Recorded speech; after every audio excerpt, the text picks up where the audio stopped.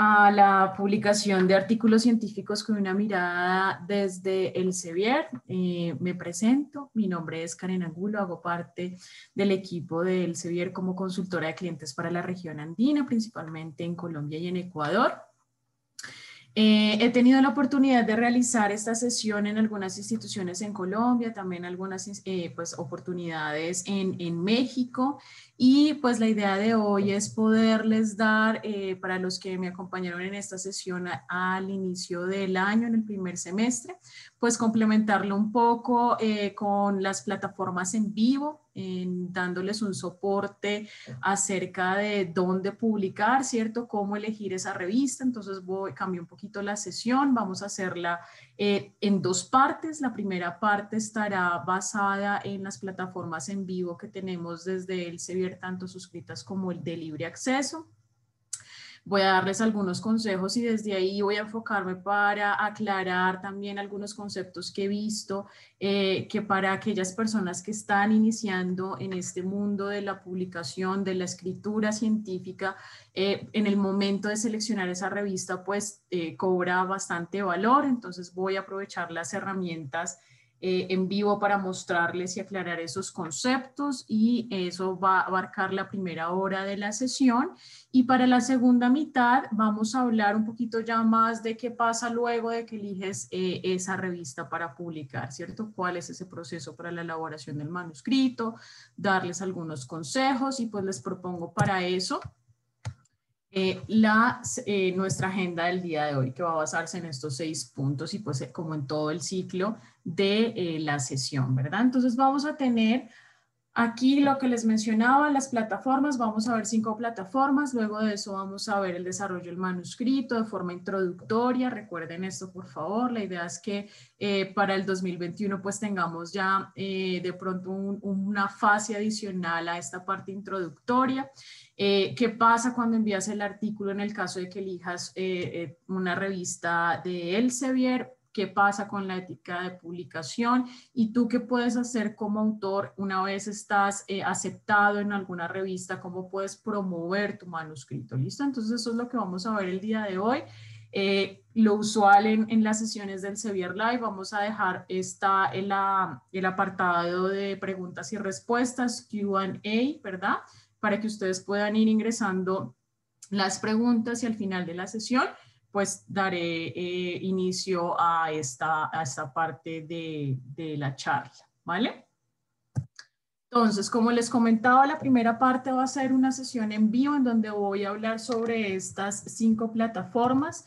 Eh, las dos últimas, bueno, en Science Direct se puede usar de manera directa, pero pues lo ideal sea si ustedes tienen a través de su, de su institución suscripción a esta, a esta plataforma, pues también les vamos a hablar un poquito. No voy a hacer una sesión en Science Direct, sino que voy a mostrarles cómo desde la plataforma se pueden apoyar para la selección de, de la revista.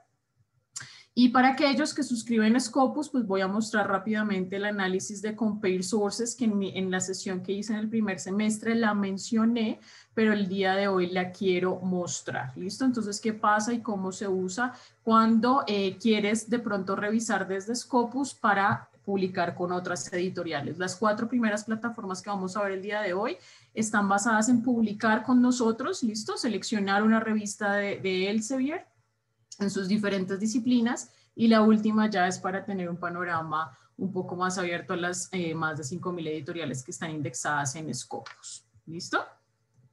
Entonces voy a pasar a compartir mi navegador para que entremos a la sesión en vivo. Entonces regálenme un momento, por favor. Vamos a, ¿dónde está?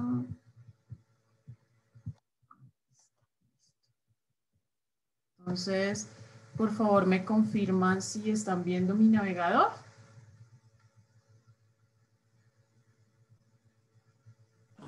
Sí, sí lo vemos. Gracias. Entonces, perfecto. Vamos a dar, como les comentaba, inicio a eh, plataformas en vivo. Le di una vuelta a mi sesión.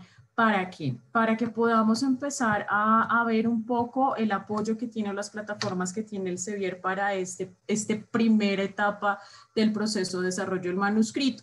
En mi anterior sesión yo mencionaba, claro, por favor, la primera recomendación es antes de escribir, por favor, seleccionen dónde publicar. ¿Esto por qué? Porque se tiende a hacer al contrario, ¿cierto? Primero escribir y luego de que tengo mi documento escrito, voy y reviso, ¿cierto? Dónde puedo publicar. Usualmente es por un mentor, por lo que conozco acerca en mi comunidad científica. Entonces, pero aquí pues voy a darles algunas herramientas. La primera de esas es el Sevier Journal Finder para aquellos que de pronto nos, me acompañan el día de hoy, que ya la han usado y quieren pues también agregar sus comentarios, adelante. La idea del día de mi charla también del día de hoy es que podamos eh, compartir las experiencias a veces buenas, a veces malas, ¿verdad? Eh, pero pues que podamos empezar a resolverlas entre todos. Entonces, la primera simplemente en el navegador de preferencia, ir a el Sevier Journal Finder, donde ustedes van a encontrar pues esta vista. Lo que hace esta plataforma, varias de editoriales tienen algo parecido, ¿cierto? He visto que Springer, Taylor, eh, Springer, Taylor tienen también este tipo de plataformas para sus eh, revistas, pero ¿qué va a pasar aquí? Entonces, nuestra plataforma está conectada con inteligencia artificial, ¿verdad? Donde lo que hace es que a través del Elsevier Fingerprint Engine lo que hace es conectar diferentes tesauros de diferentes disciplinas con las revistas y con la información que han incluido los editores de esas revistas para hacer un match. Entregarte a ti de acuerdo con el título, el abstract y las palabras claves, unos resultados de acuerdo con esa información que has incluido a través de palabras claves, ¿verdad? Los tesauros y la información. Entonces, eh, obviamente, claro, yo les mencionaba, antes de escribir, elijan dónde publicar, pero pues la primera que les estoy mostrando necesitan el título del abstract las palabras claves, ¿verdad? Entonces, me adelanto un poco la sesión eh, y es eh, la primera parte del proceso para la elaboración de un manuscrito es recoger los elementos recoger las referencias, recoger las tablas, recoger ese mensaje central. Entonces aquí lo que se pretende es que de forma preliminar o si ya lo tienen oficialmente, empezar a revisar qué información puede arrojarnos y qué resultados o qué tipo de revistas estamos, eh, podríamos obtener, ¿verdad? Con esa información que tenemos de manera preliminar. Entonces, en el caso de que ustedes aún no tengan eh, de pronto esta información para eh, eh, empezar a, llenar el formato, aquí hay algo que han creado nuestros desarrolladores del producto y es tener esta opción de no tengo un resumen. ¿Esto para qué? Se han creado tres ejemplos en tres disciplinas diferentes para poderles dar a ustedes también alguna idea, de pronto no tanto por el título, el abstract y demás, sino eh, por estos ejemplos que están eh, diseñados en medicina, donde obviamente a veces, y me gusta mucho el ejemplo que voy a hacer y lo he repetido varias veces en mis sesiones, y es porque he encontrado de, bueno, pues el Sevier es muy reconocido, ¿verdad? Por eh, de pronto medicina, física, química, estas ciencias duras, puras, pero además yo publico en educación. Entonces, ¿qué podría hacer yo, verdad? Para poder empezar a, ver eh, esas otras oportunidades que puedo tener desde Elsevier. Entonces, el ejercicio que tengo el día de hoy o que me gusta hacer en, este, en esta sesión eh, de introducción a la publicación de, de, artículos es irme hacia el ejemplo de ciencias sociales, porque he encontrado que también bastante audiencia que tenemos en nuestras sesiones, pues van hacia esa mirada, ¿verdad? Entonces, mostrarles los resultados que, que arroja, los cuales me parecen bien interesantes y que ustedes pueden hacerlo también pues con sus campos científicos. O sea, no, no limitarse, ¿verdad? De pronto a, lo que han escuchado de nosotros o esto, sino que la verdad es que eh, diferentes temáticas, diferentes tendencias, ¿cierto? En investigación, pues están siendo abordadas por diferentes de nuestras revistas.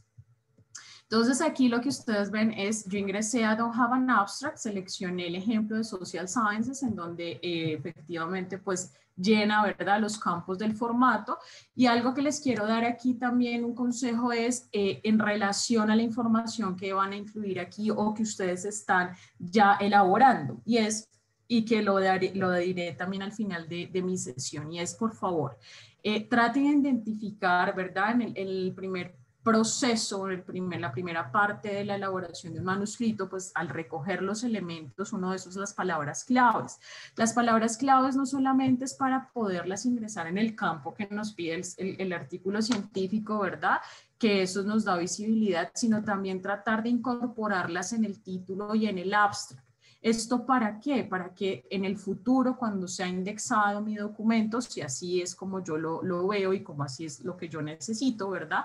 Estar indexado en alguna plataforma, pues tenga más oportunidades de recuperación cuando los lectores o los usuarios, ¿verdad? Están buscando información usando estos términos, asimismo, pues tendré más oportunidades de recuperación de lectura. Entonces, eh, bien importante este consejo, lo daré más adelante también, pero tratar de incluir dentro de nuestro título y nuestro abstract también esas palabras claves, porque en muchas ocasiones en la guía de autor, como en el ejemplo que voy a dar el día de hoy, pues vamos a tener una limitante de palabras claves, un máximo, ¿cierto? Entonces, eh, pues ahí vamos a incluir las más relevantes, pero si las incorporamos en estos dos otros campos del artículo, pues lo que les mencionaba, vamos a tener mayor visibilidad. Entonces, algo también bien interesante aquí y que me ha ayudado mucho en, algunos, en algunas de las sesiones es Ustedes tienen, ¿cierto?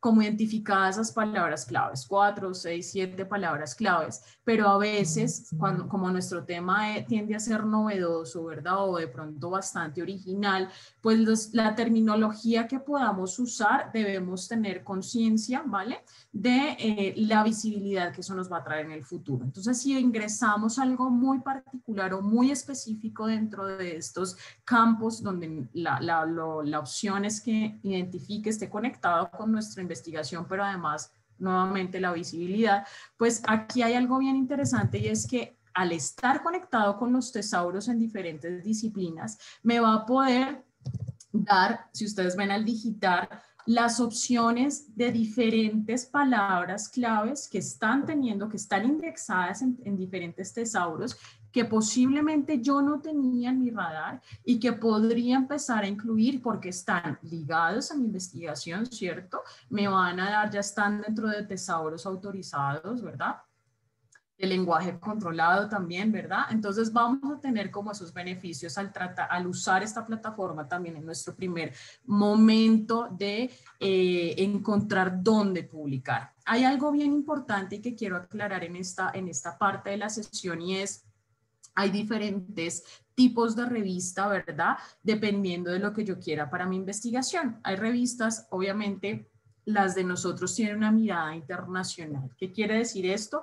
Que tu investigación debe estar pensado a ese tipo de lectura, ¿verdad? A pesar de que sea algo local, pues debe tener un impacto internacional. Si solamente tiene un impacto local, es mejor revisar de pronto una revista académica en tu eh, país, ¿verdad? Donde va a tener de pronto un mayor impacto que si lo hacemos de manera internacional y de pronto al no tener esa, ese enfoque o esa lectura, eh, pues las oportunidades de pronto que tengamos de aceptación pues no son tan altas, ¿vale? Entonces tratar de identificar mi investigación para elegir esa, esa mirada, ¿es internacional o es local, cierto? O es regional.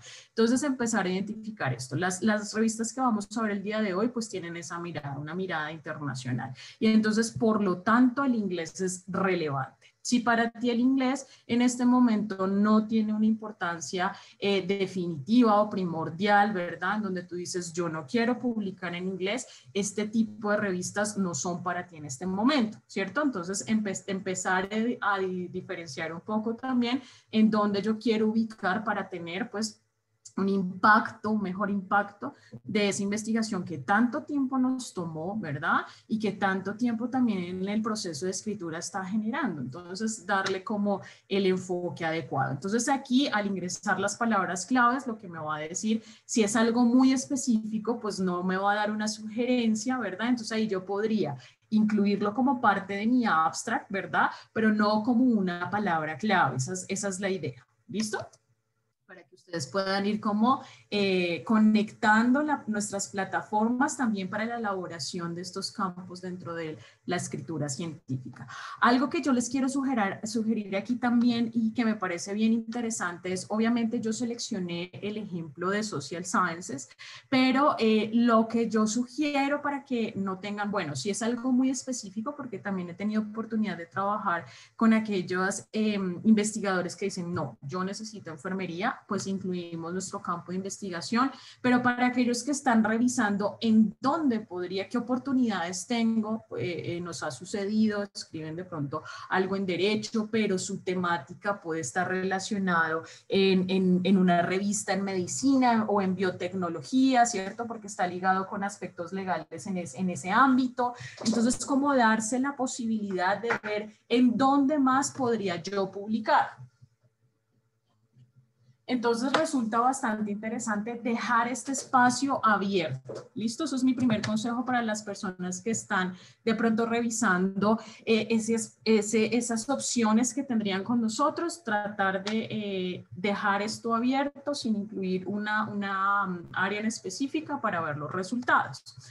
Ahora, aquí aprovecho en esta plataforma, aquí en Refine Your Search, eh, a, explicar un poco, aclarar conceptos, ¿vale? Para aquellas personas que están iniciando en este proceso de la escritura científica. ¿Y qué es? En términos de nuestras revistas en el Sevier, nosotros tenemos diferentes modelos de publicación. ¿Qué significa esto? Significa que tú como autor, todos los autores tienen diferentes necesidades. Eh, de los cuales se puede identificar. Entonces tenemos pronto una necesidad, eh, que es la primera que quiero hablar, en cómo será leído mi investigación, ¿cierto? Eh, he encontrado varias instituciones que quieren publicar en, en Open Access, ¿cierto? pero para en el caso de nuestras revistas, si quieren publicar en Gold Open Access, pues empieza a tener eh, significado el APC, que es un APC, es un costo por publicación de artículo, ¿cierto? Entonces, ¿esto qué significa? Que son aquellas revistas en donde cuando tú pasas el proceso de evaluación, eres aceptado y la revista tiene un modelo de publicación en Gold Open Access, va a haber una tarifa o un precio de APC. Entonces, esto porque es importante y por eso la, importancia de seleccionar dónde quieres publicar antes de escribir. Porque si esto no lo tenías previsto, ¿vale? En los momentos y tú, em, tus tiempos de publicación en este momento no son tan amplios, ¿verdad? Porque de pronto tomaste la otra opción en primero escribir, luego revisar dónde, pero tu objetivo es un Goal Open Access y en este momento no tienes eh, los medios financieros, ¿cierto? Para poder pagar este APC, pues va a haber un poco más de conflicto, ¿cierto? Para poder publicar en este tipo de journals con nosotros. Eh, los APCs, para que ustedes lo tengan un poquito en mente, hay una, una, página pública en donde ustedes pueden ver los listados de todas nuestras revistas que tienen este tipo de Goal Open Access. Van desde 150 dólares a 6 mil dólares. Esto depende también mucho del prestigio de la revista, de los números de, de, artículos que reciben para evaluación, de la cantidad de personas que se necesitan, del sistema editorial, bueno, de todo esto que va eh, detrás, ¿cierto?, del proceso de evaluación. Entonces, eh, y además de eso, pues hay, hay, en, ahorita en la, siguiente vista voy a explicar otro, otro término, otro concepto que va relacionado mucho en estos momentos a cómo puedo pagar el APC y son las fuentes de financiamiento. Ya los, lo vamos a hablar en un momento. Pero además de eso, pues tenemos en nuestras revistas un modelo que es un modelo de publicación en tipo suscripción o en tipo Green Open Access. ¿Qué significa esto? Significa que aquí el autor no hace un pago por publicar, ¿listo? Aquí no hay un costo de APC. Es decir, que los gastos, ¿verdad? Eh, en, la forma de lectura del Goal Open Access, tan pronto tú estás aceptado, se hace el pago, están los tiempos de publicación, queda en línea tu documento y queda abierto de lectura, ¿cierto? Entonces el lector entra a la revista, accede al texto completo. En las de tipo suscripción, no hay un pago de APC para el autor, ¿vale? Hay unos tiempos igual, o sea, el proceso de evaluación es el mismo. No hay que si tú quieres un, un Open Access es diferente a la evaluación de tipo suscripción. Aquí no, aquí todos, en, si supongamos... Eh, la revista acepta los dos modelos, que este es el tercer modelo de publicación, que es el híbrido, ¿cierto? Entonces, si acepta eh, cualquiera de estos dos modelos, el autor luego de que es aceptado puede elegir en qué modelo de publicación quiere ser eh, leído o publicado. ¿Listo? En los de tipo suscripción hay algo que hay que tener en cuenta y que empieza también a aclararse los conceptos son los periodos de embargo. No se asusten con esto, no quieren decir que van a perder visibilidad, no quiere decir que lo van a publicar después. Esto no tiene nada que ver con el acceso al, lector, ¿vale? ¿Qué es lo que significa un periodo de embargo? El periodo de embargo, para ponerlo en, palabras básicas, ¿cierto? Y que todos podamos comprenderlo, porque a veces la terminología eh, es bastante compleja para, para las personas que estamos iniciando en este proceso nuevamente. Entonces, el periodo de embargo es la revista, ¿cierto? Tú no haces un pago de APC, no hay este costo para el autor, pero para que puedas alojar tu documento original en otras plataformas, ¿cierto? Diferentes a Science Direct, que es nuestra plataforma de nuestros, nuestras publicaciones y donde vas a ser leído, ¿cierto? Si quieres publicarlo para que sea leído de forma completa en, en otra plataforma, hay que esperar un tiempo, ¿vale? Cada revista tiene su tiempo, cada editor define los tiempos de ese periodo de embargo.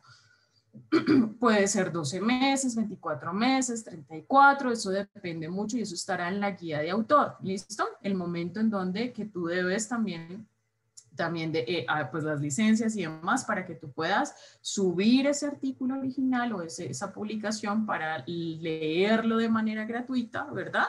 Eh, en otras plataformas. Entonces, esto es cómo funciona para ponerlo de manera eh, más clara y un poco más eh, básica para entender y empezar a identificar los resultados que nos arrojan estas plataformas y cómo empezar a tomar mejores decisiones. Entonces, mencionaba un poco acerca de eh, las necesidades que tienes como autor, ¿cierto? Por favor, los invito si van teniendo alguna inquietud. Está el apartado de, de questions and answers. Ahí pueden ir ingresando sus, sus dudas en cualquier momento y al final de la sesión me tomaré un tiempo para para revisarlas y, responderlas. ¿Listo? Entonces, ¿qué vamos a tener? Hablamos de esta primera necesidad. Si eres de, de, este tipo de autor con esa necesidad, pues vamos a empezar a identificar los resultados desde acá. Pero además de eso hay otro tipo de necesidad como autor y es ese impacto. Quiero tener visibilidad, quiero eh, publicar en una revista prestigiosa en mi campo, ¿cierto? Aquí, ¿qué se debe tener en cuenta? Las métricas de citación. Las métricas de citación empiezan a tener relevancia, ¿verdad? Cuando para ti como autor eso es importante. Entonces, eh, hay, en estos momentos hay diferentes métricas de citación y esto es lo segundo que quiero darles como consejo, ¿cierto? Si esto para ti es relevante, por favor, no te quedes con una sola o con la que más conozcas. Aquí, supongamos en Colombia, eh, eh, por los cuartiles y demás que de pronto a veces desde el ministerio también se pide, pues eh, tenemos el Chimago Journal Rank, ¿cierto? En donde, pues además de las métricas de citación, mide el prestigio a través del algoritmo de, de Google PageRank. Entonces, vamos a tener diferentes metodologías para entregar un resultado. Esta, eh, el Severe Journal Finder lo que hace, ¿vale? Es que vamos a tener la, la del Site Score, que la del Site Score es nuestra métrica de citación en Scopus. Para aquellos usuarios de Scopus, la hemos visto por ahí, ¿cierto? La hemos visto incluso eh, si usamos Science Direct y usamos la vista de la revista, siempre va a estar el Site Score. Esta es la, la métrica que la fuente es Scopus, ¿vale? En donde tiene un periodo de tiempo, que el periodo de tiempo cambió para este año y es de cuatro años, ¿cierto? Los ah, eh, documentos eh, publicados de la revista en esos cuatro años y las citaciones recibidas en ese periodo de tiempo. Eso nos dará una media, ¿cierto? Donde la media es una, uno, ¿verdad? Y todo lo que sea arriba abajo, pues empezar a tener una visibilidad, ¿listo? Pero la más conocida, pues tenemos el factor de impacto de nuestros amigos de Clarivate, nuestros colegas de Clarivate. Entonces aquí vamos a tener otra metodología. Entonces estará eh, Web of Science, ¿cierto? Como su fuente, estará eh, otra metodología. Aquí tenemos de dos años, pero además ellos también tienen de cinco años. Entonces empezar a revisar qué es lo que yo quiero como autor. Identificar en la segunda plataforma que les voy a mostrar el día de hoy, les voy a mostrar el SNIP. ¿Qué es el SNIP? Entonces empezar a identificar y tratar de, ¿cierto? Tener los elementos cuantitativos y cualitativos que yo tengo como experto dónde yo quiero tener esa visibilidad. Entonces, de esa misma manera, empezar a entender las metodologías y de esa misma manera, pues empezar a usar estas herramientas de manera adecuada. Entonces, aquí podríamos hacer el filtro, si eso es importante para mí. En el caso, para el ejercicio lo voy a dejar abierto. Y una tercera necesidad, ¿verdad? Cuando queremos publicar en este tipo de revistas internacionales, Ojo, aquí son revistas de Elsevier, ¿vale? De, nuestro, de nuestra casa editorial. Entonces, ¿qué vamos a tener aquí? Los tiempos de publicación. También he encontrado esto una de las necesidades primordiales, supongamos, en la región que trabajo, y es esto, o sea, necesito publicar en diferentes eh, tiempos. Eh, hubo una sesión, no sé, para los que nos acompañan en, en el Sevier eh, Live desde hace un, un, tiempo. En septiembre invitamos al doctor eh, Orlando Chaviano, ¿verdad? Donde me mostraba su metodología para aquellos que no hayan eh, participado, está en nuestro canal de YouTube, ahí lo van a poder ver, igual lo vamos a compartir eh, luego en los correos que enviaremos de seguimiento. Entonces, aquí el que mencionaba y me gusta mucho también comentarles, y es empezar a, a, crear un Excel, ¿verdad? Yo les doy como la idea en donde él incluye, ¿verdad? Las revistas que están relacionadas con su campo del conocimiento y en columnas va agregando esto, las métricas de aceptación, los tiempos de decisión, si es una Gold Open Access, si es una Green Open Access y de esa manera va organizando sus tiempos de publicación. ¿cierto? Entonces, si supongamos, yo no tuve de pronto esto presente antes de elaborar mi manuscrito y necesito publicar ya, ¿cierto? Entonces, nosotros tenemos en nuestras revistas dos tiempos en la evaluación. El primer tiempo, que es el que en el donde lo recibe el editor, ¿verdad? Y te dice, ok, está aceptado y lo, mentira, perdón, eh, ha sido aceptado porque pasó pues todo el proceso de revisión por par, ¿verdad? Todas nuestras revistas tienen eh, procesos de revisión por par o eh, fue rechazado porque aún no está de manera elaborada de manera adecuada el manuscrito, está rechazado o está aceptado con revisiones. Entonces, este es el, el primer momento de decisión. Aquí no quiere decir que ya tan pronto te acepten te van a publicar. Cada una de nuestras revistas tiene un tiempo de publicación. Entonces, si para ti esto es importante, ¿verdad? Que es donde ya aparece online, donde ya está visible, donde tú puedes compartir el DOI para eh, de pronto aquellas eh, investigadores que reciben de pronto apoyo también financiero o, este tipo de cosas, eh, mostrar, ¿verdad?, en dónde se, se, se realizó esa publicación, pues aquí están los tiempos. del mismo modo vamos a poder hacer los filtros, ¿verdad? De acuerdo a la necesidad que yo tenga. Entonces las herramientas están ahí para ustedes y ustedes son los que definen esa necesidad. Eh, para nuestro ejercicio, recuerden, yo lo que hice fue ingresar al Sevier Journal Finder, que es nuestra primera plataforma del día de hoy. Eh, como no tengo un título o un abstract, lo que hice fue basarme en uno de los ejemplos que han diseñado los desarrolladores del producto para tener una idea. ¿Listo? Elegí el de Social Sciences. Eh, me permití aclarar algunos conceptos, ¿verdad? Que he identificado que no son tan claros en los primeros momentos y vamos a ver los resultados.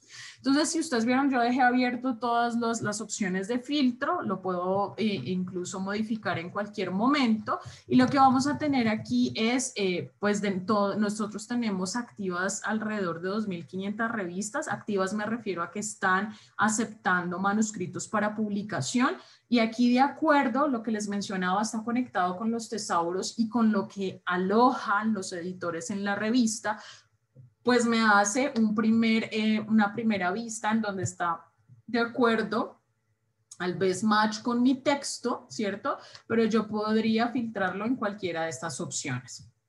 Entonces me gusta, como les comentaba al inicio, este ejercicio porque muestra una revista que publica artículos en educación que a veces lo para nuestros colegas en ciencias sociales, eh, a veces decimos como no, esto a veces es solamente para las ciencias básicas, ¿verdad? O las ciencias eh, duras en donde pues medicina, física, química, pues tenemos un poquito más de visibilidad. Entonces, esta primera que vamos a tener y de acuerdo con lo que les he comentado algo. Entonces, los modelos de publicación lo vamos a poder ver desde la primera vista del resultado. Entonces, aquí quiero entregarles a ustedes elementos para poder leer esta información, ¿cierto? Porque a veces de primera mano, pues sí, está ahí, pero no se entiende qué significa, en donde rápidamente, si la revista tiene estos dos elementos o estos dos iconos, significa que es una revista híbrida. ¿Vale? Es decir, que acepta cualquiera de estos dos modelos de publicación una vez eres aceptado.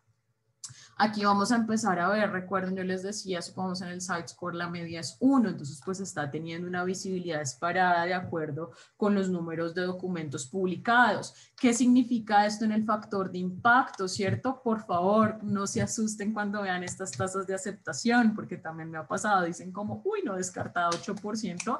Siguiente, esto pasa mucho y también por eso mi sesión es para poder que ustedes tengan documentos mejor elaborados y que estas tasas, o sea, que no sea tanto, ahorita les voy a mostrar algo bien interesante de esta revista, la cantidad de, de, documentos que recibe al año, ¿verdad? Y, y algo que tiene muy interesante en su guía de autor y es esto, por favor, si ustedes no leen la guía de autor, no van a ser aceptados, porque ya les, vamos, les voy a mostrar por qué. Y por eso la importancia de escoger la revista antes de escribir. Entonces, de primera vista o de primera mano tenemos, ¿verdad? La tasa de aceptación, que es de un 8%, en donde dice uno como, uy, es bastante baja, entonces posiblemente sean muy estrictos en el momento de la evaluación, pero pues veamos de pronto, ¿cierto? ¿Qué es lo que está... Eh, solicitando el editor, qué es lo que ellos están publicando, si estará alineado con lo que yo quiero entregar, entonces está podría yo, ¿verdad? Esperarme tres semanas para una primera decisión y 12 semanas luego de que me han aceptado para ser publicado. Si sí puedo esperar esos tiempos, adelante, ¿cierto? Si no, pues ya pasaría a otra siguiente revista. Entonces, por eso eh, la importancia de dar esta vista antes de, porque así tú puedes empezar a programar y lo, que les mostraba de la metodología del doctor Chaviano, a mí, me, a mí me gusta mucho y por eso la comparto en, este, en, este, en estas sesiones, porque me parece que puede, organiza, ¿verdad?, eh, los momentos de publicación dependiendo de la necesidad que tenga como autor. Entonces, eh, lo que hice fue siempre para que ustedes puedan ver información más precisa acerca de esto y básica para poder ir a ver la guía de autor, ¿cierto? Siempre, por favor, vean la guía de autor.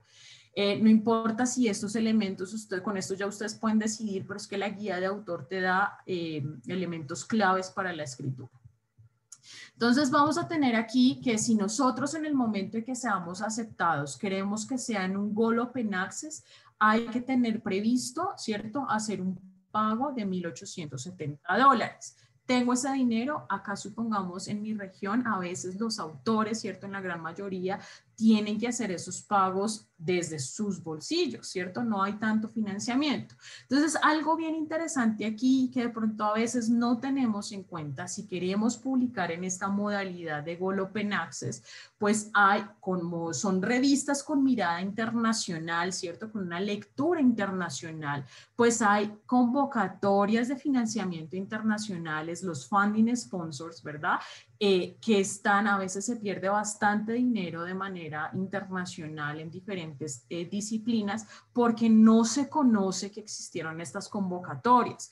Eh, para aquellos que tienen, suscriben con nosotros Funding Institutional, clave, aquí ustedes van a tener información de las fuentes de financiamiento locales, internacionales. Esto es para aquellos que suscriben Funding Institutional, ¿vale? Van a tener incluso un portal un poco más organizado, van a tener otras otras ventajas, pero para aquellos que de pronto no suscriben con nosotros Funding Institutional, yo les aconsejo Mendeley eh, Funding, ¿vale? Mendeley, además de ser nuestro gestor de referencia, por algunas de las sesiones que también hemos podido ver aquí en el Sevier Life o las que hemos tenido con, con nuestros colegas Carlos eh, Rojas o con nuestros colegas eh, Daniel eh, Rangel, ¿verdad? En sus diferentes países, pues vamos a ver en Mendeley que también hay una parte donde hay financiamiento. Entonces, simplemente sus navegadores ingresen a, Mendeley Funding, ¿vale?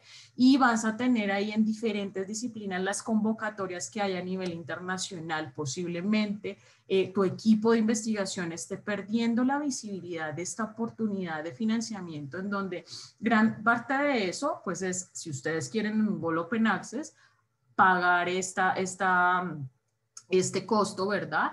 Eh, o pues todo lo que viene implicado también con la investigación. Entonces, esto para que estemos bien preparados y no solamente escribamos y luego miremos dónde queremos publicar, sino que empecemos, ¿cierto? De pronto nuestros tiempos en este momento no nos da, pero sí de pronto para el 2021 empecemos a ver los tiempos de convocatoria, cuándo tengo que aplicar, cómo tengo que hacerlo, o sea, todo eso estará ahí. ¿Listo? Entonces, por eso les mencionaba aquí lo relevante, porque a veces no tenemos esa vista. No pasa tanto cuando de pronto es una investigación local, en donde, claro, los aportes pues pueden ser más institucionales o de una convocatoria del ministerio de su país, ¿verdad? En donde pretenden también apoyar eh, este tipo de investigaciones, pero las oportunidades a veces, pues claro, son bastante investigador, investigadores eh, tratando de alcanzar eh, ese financiamiento. Entonces, si ustedes están teniendo una mirada internacional, adelante, miren esas oportunidades de financiamiento internacionales, ¿listo? Em, en el caso que quieran publicar, como les mencionaba, en, la modalidad de tipo suscripción, en donde no hay un pago de APC, lo que significa esto es que ustedes, ¿verdad? Lo que les mencionaba, supongamos en un repositorio institucional en donde eh, van a tener una visibilidad bien interesante, pero pues ah, tendrán que de pronto incluir el texto completo, ¿cierto? El artículo completo para lectura abierta entonces, aquí en este momento la revista te dice, debes esperar para hacer eso, ¿cierto? 24 eh, meses. ¿Qué significa eso? Pues siempre vamos a poder ir a más. Entonces, eh, adicional, mencionábamos el inglés. El inglés es vital para este tipo de revistas porque estás llegando nuevamente a una lectura eh, diferente. Entonces, aquí esta revista te está diciendo, Nuestros top readers, lectores, ¿verdad? Están en Estados Unidos, Gran Bretaña y Australia. En nuestra tercera plataforma que les voy a compartir el día de hoy, vamos a, les voy a mostrar un mapa bien interesante donde vamos a poder ver en dónde más están descargando esos documentos para lectura. Pero adicional a eso, si vamos un poco más abajo dentro de los resultados que nos entrega el Sevier Journal Finder, pues siempre, eh, y si ustedes ven en cualquiera de estas plataformas, nos muestra los últimos números publicados. Esto, por favor, háganlo, ¿cierto? Revisen esos números publicados. Aquí ustedes van a empezar a identificar si definitivamente es un tema original para la revista, si está teniendo una novedad para ellos, si está alineado. A veces me preguntaban cuánto es el número de autores máximo, ¿cierto? En un, documento, cuántas referencias. Esto le puede dar a ustedes elementos de cómo es la estructura, cómo es el lenguaje, cómo están mostrando sus gráficas, cómo están, eh, toda esta información con respecto a los últimos números publicados. Esto también les va a ayudar a ustedes a evitar un poco las revistas predatorias o las revistas falsas. ¿Vale? Ya voy a explicar un poco por qué. Entonces, al ver esos últimos números publicados, pues vamos a tener esa, esa otra mirada, ¿vale? Para empezar a identificar eh, si definitivamente mi investigación va alineada a lo de ellos. Pero además el enfoque, el enfoque que le está dando el editor y su comité editorial, porque recordemos, la revista pues tiene varias personas, ¿cierto? Eh, en donde estamos compuestos por el editor, ¿verdad? El comité editorial, en donde el editor crea la estrategia para la revista, pero pues eh, de pronto no es una autoridad en todos sus subcampos, pero el comité editorial sí lo es. Entonces, para eso es el comité editorial, para poder aconsejar en otros temas de tendencia relacionados a esas subdisciplinas, ¿verdad? Y poder empezarle a dar esa otra mirada. Y nosotros, la editorial, entonces empezamos a tener un equipo y una vista en donde ustedes también deben tenerlo presente presente en el momento en que están em, seleccionando dónde publicar. Entonces, ¿cuáles son esos editores? ¿Cuál es ese comité editorial? ¿Quién es esa, editorial? ¿Verdad? Entonces, vamos a empezar identificando. Entonces, aquí hay algo bien interesante y por lo cual empecé a hacer como una relación con respecto también al porcentaje de tasa de aceptación y es ellos usualmente en todas nuestras revistas ustedes van a encontrar en el enfoque, ¿verdad? Y el objetivo de la revista, qué es lo que están publicando. Entonces aquí ellos dicen que están publicando, ¿verdad? Manuscritos en el campo de educación, ¿cierto? En donde, ¿qué quieren que haya? Entonces van a empezar a explicar cuál es su, estrategia, o sea, a dónde quieren llegar, cuáles son esos tipos de lectores, ¿verdad? ¿Qué tipo de documentos o de artículos están aceptando para publicar? Entonces, esto también te puede dar una, una ayuda en el momento de eh, al mirar esos últimos números publicados, ¿verdad? ¿Qué es lo que, que, están publicando? Un article review, un reporte, una short letter, entonces vamos, un short communication, ¿verdad? Entonces vamos a tener esas, esas opciones, pero también nuestras guías de autor lo van a mencionar. Pero hay algo que me gusta mucho o que vi aquí, ¿verdad? Y es acerca de la guía de autor en los tipos de publicación. Ellos miren la relevancia que le dan a esto. Es decir, si identificamos que ustedes no han seguido la guía de autor, serán rechazados sin, necesidad de pasarlo a un revisor. Les voy a mostrar por qué. Esta guía de autor creo que es una de las más completas que yo he visto y es muy fácil identificar si el autor siguió esas recomendaciones que ellos dieron. Y muy fácilmente, por eso yo dice como de pronto el match, ¿verdad? No quiere decir que todas, pero sí, sí lo, ellos lo incluyen tan claro aquí es porque es realmente relevante y muy fácil de identificar si lo seguiste o no lo seguiste. Ya les voy a mostrar desde nuestra segunda página por qué. Entonces, si ustedes ven la guía, la ética de publicación, entonces, ¿cuál es esa ética de publicación que está teniendo la revista? Esto para cualquier editorial o para cualquier tipo de revista. Eh, revisen eso. Esto aquí va a empezar a tener las directrices, ¿verdad? De lo que ustedes de pronto que se hace si encuentra plagio, falsificación de datos o es recíproco, ¿no? De la revista hacia el autor y del autor hacia la revista. Entonces es muy importante empezar a identificar y por eso dicen que esté basado en las éticas de publicación. O sea, ustedes deben escribir en relación a eso. Entonces aquí van a empezar a tener información adicional. Y así con los diferentes resultados en el Sevier Journal Finder, que es nuestra primera plataforma. Pero para aquellos que de pronto yo mencionaba, otra necesidad es de pronto apoyar el Goal Open Access. Les cuento que en el 2019, desde el Sevier se crearon, son nuevas, eh, más de 100 revistas solamente en Goal Open Access. Entonces, si es para ustedes ese tipo de necesidad, los invito aquí mismo dentro de los resultados de la plataforma. Vamos a tener esas otras New Goal Open Access, Full Goal Open Access, ¿verdad? En donde si ven aquí, miren lo interesante, ni siquiera hay un pago de APC porque lo que quieren es, es un tema en tendencia, ¿verdad? En donde están tratando de invitar a esos investigadores en este, en este campo científico y como están en estos momentos, obviamente, eh, las citaciones y todo esto, pues tendrá otra mirada al futuro, ¿verdad? En donde la citación pues tiene, espera un poco de tiempo eh, para poder tener eh, esa, esa visibilidad. Entonces es bastante interesante denle una mirada, les aconsejo, como les mencionaba al inicio, eh, aclarar un poco las terminologías, pero para seguir a nuestra segunda plataforma, desde aquí resulta que yo ya vi estos elementos, ¿verdad? Considero que puede ser interesante, de pronto no para este momento, pero sí en el futuro, ¿verdad? Por su temática, su objetivo, pues entro a mirar la página web. Puedo entrar a la página web de la revista, que está en nuestra segunda plataforma del día de hoy, a través del navegador, a través de Science Direct, a través del el Journal Finder, ¿verdad? Pero aquí es donde quiero aclarar también o darles consejos para que ustedes puedan apoyar su decisión en, la información que les eh, eh, otorga la página web de la revista y de pronto evitar eh, publicar en revistas predatorias o en revistas falsas, ¿vale? Las fake pages. Entonces aquí vamos a tener, si la revista dice que es internacional, ¿cierto? Que está teniendo una mirada internacional, Usualmente las, las predatorias pues están teniendo, lamentablemente, a veces lo, lo hemos visto eh, desde Scopus también, ¿verdad? Que, que, aprovechan de pronto esta visibilidad que están teniendo en Scopus y es una revista Golo Open Access en donde hay una PC y uno empieza a ver que publican, publican, publican, publican, ¿verdad?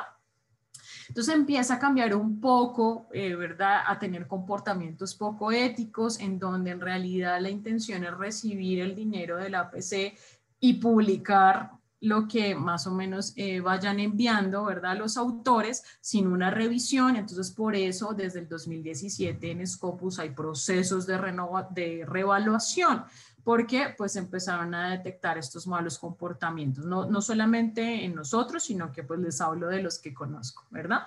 Entonces, em, algo bien interesante para empezar a evitar esto es eso, Revisen la frecuencia de publicación. ¿Qué significa esto? ¿Cuántos números publica el año?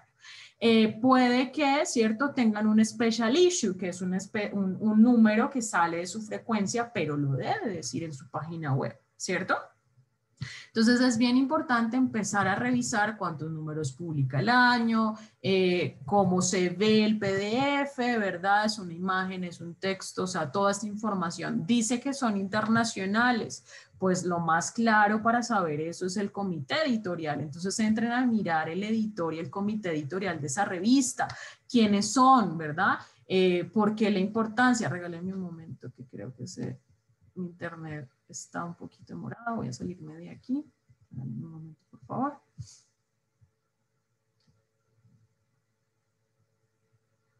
Listo. Entonces, em, vamos a tener aquí la importancia del comité editorial. Entonces, ¿qué va a pasar? Vamos a tener, si dice que es internacional, pues su editor y su comité editorial deben ser de internacionales, ¿cierto? Entonces,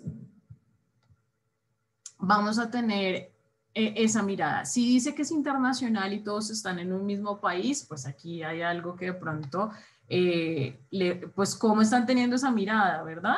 cómo están haciendo esas estrategias y todos están de pronto en un solo país. Entonces ahí empezamos a tener esa mirada. Las fake eh, pages, ¿por qué? Ah, si se me cayó el internet. Regálenme un momento. Entonces, eh, ¿qué va a pasar aquí? Vamos a tener la, la, vista, ¿verdad? De una página de pronto reconocida en donde, pues, eh, personas con malos em, eh, ay, regálenme un momento. A ver qué pasó. Intentamos con otro. A ver si es mi internet o...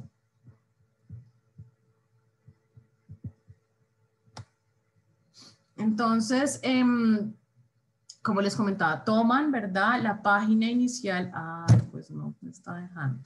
Regálenme un momento, por favor hago una prueba acá. Ah, ya, ya, ya está, ya acá. Entonces era mientras se desconectaba de mi VPN. Listo. Entonces, em, vamos a, tener una portada, pero sus documentos o sus artículos publicados vienen de diferentes revistas. Entonces, denle una mirada a los DOI, ¿verdad? El DOI es un Em, identificador digital para cada artículo, ¿verdad? En donde eh, pues es, es, preferible que tengan este identificador y así ustedes pueden ir a la página real de, de esa, de, esa, de ese documento. Eh, es fácil, supongamos, si ustedes tienen alguna duda acerca de la página, aconsejense por su dirección de investigación, por la biblioteca, tengan tres o cuatro asesorías, ¿verdad? Donde les puedan revisar bien la página, así evitar de pronto malos momentos en el futuro. Entonces les comentaba de, del equipo editorial, en donde aquí vamos a tener, esto dice que es una revista internacional, ¿cierto? Aquí su editor está ubicado en el Reino Unido, pero entonces empecemos a mirar sus editores asociados y su comité. Entonces miren de China, de Irlanda, de Estados Unidos, de Hungría, de Australia. Entonces esto también te da la mirada de que sí, están teniendo una estrategia internacional, ¿listo? Revisen si de verdad existen estas personas como consejo, ¿listo? Es algo adicional que entiendo que puede también tener una carga adicional, pero es para que ustedes aseguren el mejor impacto para su investigación, que en realidad se lo merece, ¿verdad? Todo ese tiempo que han eh, dedicado a la investigación. Entonces, Nuevamente vamos a tener en nuestras páginas, eh, vamos a tener los, las métricas de citación, pero algo que les quiero compartir aquí dentro de la página principal en Journal Metrics es el Source Normalized Per Paper, ¿verdad? Entonces les mencionaba el SNP, que es otra métrica de citación en donde el site score, el factor de impacto, el SJR van a medir, ¿verdad? La, la, la revista, pero aquí el SNP mide el paper, cada uno de los papers en su campo científico. Entonces es bien interesante también revisar esto, puede que en una revista pues tenga mucha visibilidad porque cuatro de pronto de sus documentos eh, de, no sé, de 20 que publica pues tuvieron muchas citaciones. Entonces esto también les da a ustedes una mirada adicional para ver sus papers, ¿cierto? Cómo está teniendo la visibilidad por paper. Y adicional a eso, pues vamos a tener aquí, y lo que le quiero resaltar el día de hoy es la guía de autor. A mí me gusta mucho y lo que recomiendo también en este tipo de sesiones, pues siempre van a tener la vista en PDF, pero me gusta mucho la de la vista online. ¿Esto por qué? Les da a ustedes elementos rápidos para ver qué es lo que quiere el editor y qué es lo que espera la revista. Entonces los va dando punto por punto, ¿verdad? En donde lo que les mencionaba, por eso la importancia de seleccionar antes de escribir.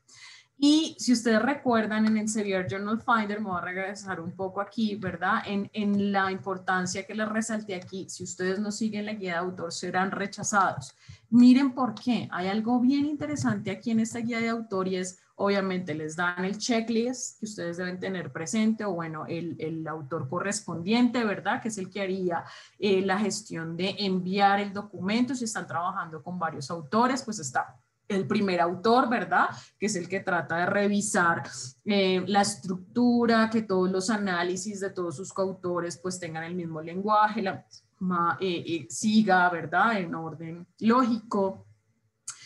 Pero el autor correspondiente es el que haría las veces de enviar el documento a la revista. Entonces, aquí pues es importante que el autor correspondiente pues tenga esta checklist, ¿cierto? Que es el paso final antes de enviar, porque ya no solamente se envía el documento, ¿verdad? Sino que se deben enviar otras informaciones. Vamos a hablar más adelante de la carta eh, de presentación, pero miren, además de esto, ellos piden además los, los, el material complementario y el research data. Entonces, ¿qué significa el research data? Y esta es otra visibilidad que les está dando la oportunidad, eh, la digitalización de las revistas, ¿verdad?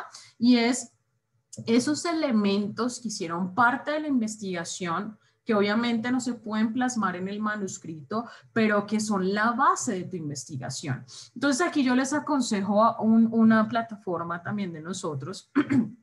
Hay varias, pero si quieren entrar aquí a Research Data, yo les voy a dejar también algunos enlaces desde donde descargan el certificado para los que quieren, para los que no estarán ahí los enlaces de interés. Y uno de esos es Mendeley Data. Mendeley Data tiene, como todos nuestros productos, una versión gratuita y una pago. Y la gratuita te permite empezar a organizar esos elementos de la, de la, de la investigación. ¿Listo? Entonces, con tu cuenta empiezas a organizar, tiene un formato, eh, esto te va a ayudar mucho después en el futuro. aquí hay un repositorio de datos para aquellos que han usado Scopus o han visto nuestras sesiones de Scopus. Uno de los, de los resultados o de las vistas es Mendeley Data, ¿cierto? Para conectar también con con esos datos de la investigación, entonces empieza a tener relevancia esto, empieza a tener relevancia la revisión por par. ¿Qué significa esto? Hay diferentes tipos de revisión por par, ya lo vamos a ver en un momento, les voy a explicar rápidamente. En este caso, la revista dice que tiene un Double Anonymized Review. ¿Qué significa esto? Pues podemos entrar más allá. Pero algo bien interesante aquí y es, pues muestran, ¿verdad? Las eh, la estructura del artículo. Ellos, si ustedes ven aquí, explican absolutamente todo lo que quieren ver cuando lean tu manuscrito. Entonces, cómo deben estar divididas las secciones, qué es lo que debe decir en la introducción, cómo debes expresar los resultados, las referencias, el título. Miren, toda la información lo tiene aquí. Incluso ellos mencionan en una parte, miren, no debe ser más de 120 palabras. En el resumen, cómo deben ustedes incluir eh, las gráficas y miren, no debe ser, las palabras eh, claves deben ser máximo seis palabras claves. Resulta que ustedes no vieron la guía de autor, lo enviaron porque les pareció súper interesante el enfoque, vieron que era este y incluyeron ocho. Descartado. ¿Listo? Porque ahí se, se dan cuenta los editores rápidamente por este simple elemento que ustedes no vieron la guía de autor. ¿Listo? Entonces vean lo importante de la guía de autor y la información que está aquí. Aquí ellos, miren, les incluyen cómo deben explicar las abreviaciones, cómo deben, si ustedes recibieron financiamiento, cómo es que deben incluir el financiamiento. Entonces, por eso ellos lo resaltan tanto en el tipo de publicación y esto me pareció muy particular y ahí uno empieza a entender de pronto un poco lo que les decía, la tasa de aceptación. Va a ser muy fácil para ellos, para el editor, tan pronto reciba tu documento si seguiste o no las guías de autor. Hay algo que les quiero eh, comentar que he visto en algunos ejercicios que he realizado y es que incluso tienen su propio formato de citación. Entonces, a veces, ¿cierto? Consideramos que no, pues es APA porque es el más conocido o de pronto pues es ingeniería, entonces es un triple E, pero resulta que como no vieron la guía de autor, ellos en referencias decían, nosotros tenemos nuestro propio formato de citación, aquí está, descárguelo en su gestor de referencia preferido y esto es lo que deben hacer. Si no usan ese, ese, mm, estilo de, de citación, pues no vieron la guía de autor. ¿Listo? Entonces, esto para que ustedes lo tengan presente, por favor, lean detenidamente toda la información. Por eso a mí me gusta la vista online, ¿cierto? Está el PDF que lo van a poder tener y, y, verlo en cualquier momento, que tiene la misma estructura, pero aquí ustedes pueden ir rápidamente navegando por esa, por esa guía de autor y ver qué es lo relacionado con el video, qué es lo que están diciendo ellos, porque miren las instrucciones mire, de, la, de cómo deben ustedes hacer el video. Entonces, toda la información está acá, todo lo que ellos quieren eh, recibir de parte del autor estará en la guía de autor. Por favor, no ni siquiera en, en nuestras revistas, háganlo con cualquier revista que ustedes estén revisando. ¿Listo? Entonces, para, voy a regresarme un poco también y algo muy interesante, siempre lo van a encontrar en la parte izquierda, y es otro tipo de visibilidad. Hablábamos de la visibilidad en métricas de citación, pero resulta que ahora pues hay varias de las revistas de diferentes editoriales que están indexados. ¿Qué significa esto? Que pasan procesos de evaluación en diferentes plataformas en su área, en donde van a encontrar diferentes tipos de análisis, supongamos en nuestro caso sería Scopus, ¿verdad? Aquí tenemos algo que se llama Abstracting y ahí en el caso de Scopus, pues ustedes van a poder, no, no, el fin de Scopus no es leer el texto completo, ¿verdad? Eso se hace en Science Direct, pero en Scopus ustedes hacen otros tipos de análisis, entonces lo mismo pasa con esto, eh, eh, estos otros tipos de, de plataformas. Entonces en este caso, eh, tenemos que esta revista Educational Research, ¿verdad? International Journal of Education Research, además de tener su texto completo,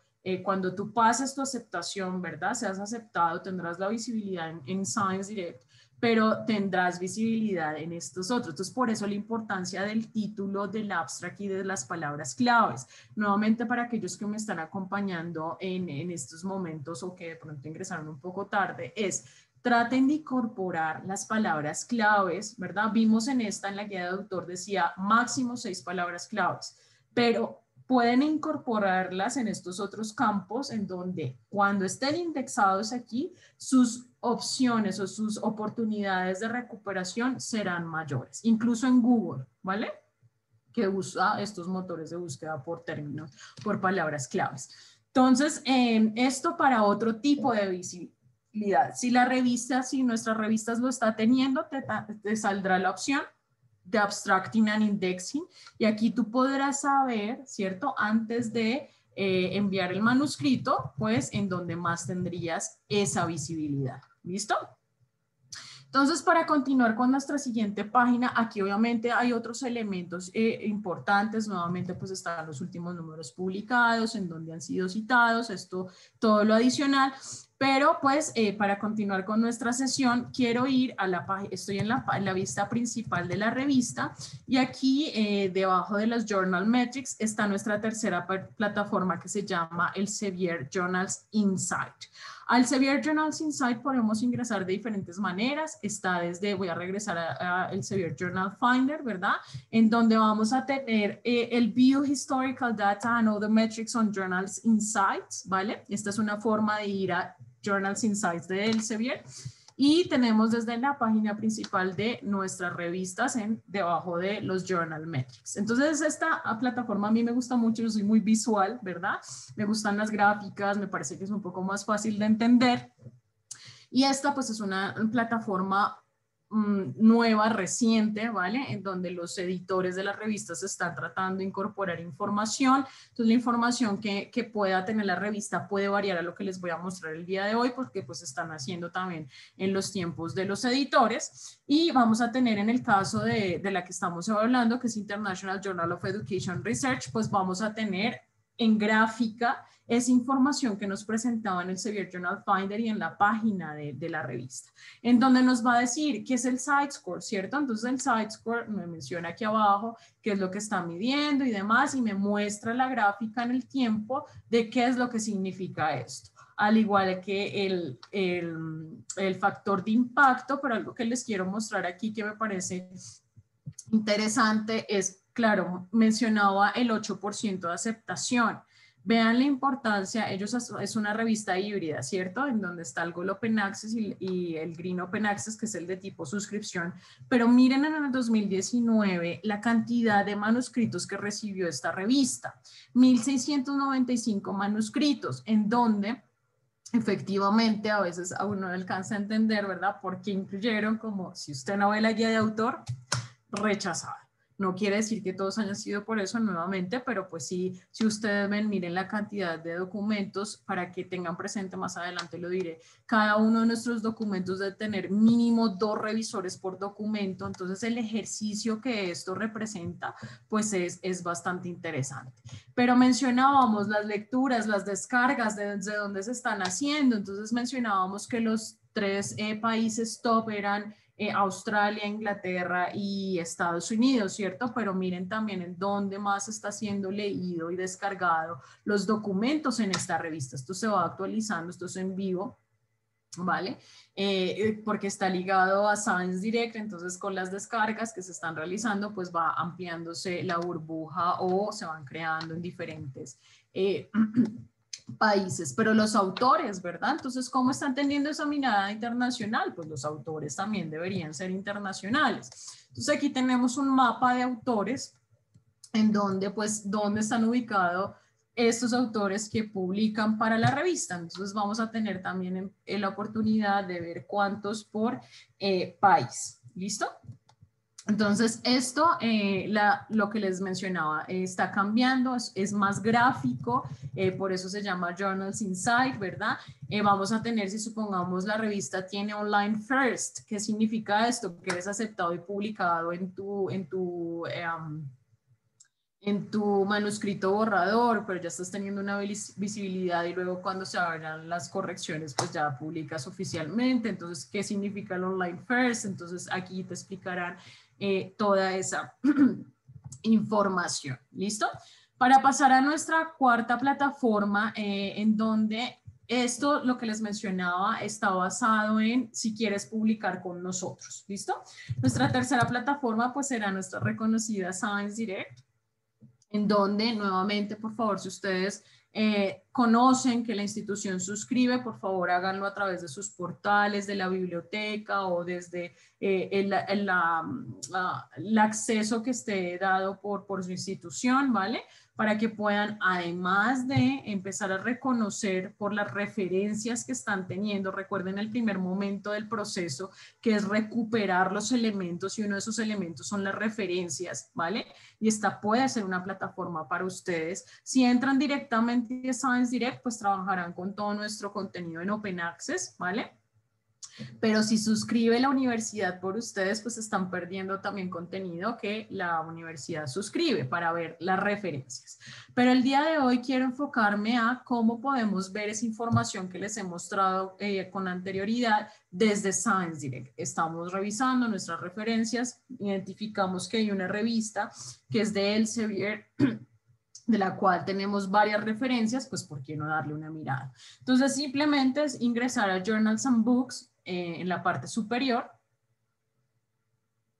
Y aquí vamos a tener em, nuestro listado de revistas. 4.308, nosotros publicamos desde 1880, ¿verdad? nuestros libros, toda la información, en, por eso la importancia, porque vas a poder ver eh, los, los, resúmenes, entonces el título, los resúmenes de todas las palabras claves y ya eh, si es un tipo suscripción, pues para poder leer el texto completo, pues la institución, ¿no? tú tendrás una suscripción a esta revista. Pero entonces siguiendo el ejercicio que estamos haciendo, voy a hacer el, filtro por eh, dominio en donde aquí pues mencionábamos que eran ciencias sociales, ¿verdad? Entonces voy a buscar ciencias sociales en esta oportunidad. Vamos a un poquito aquí.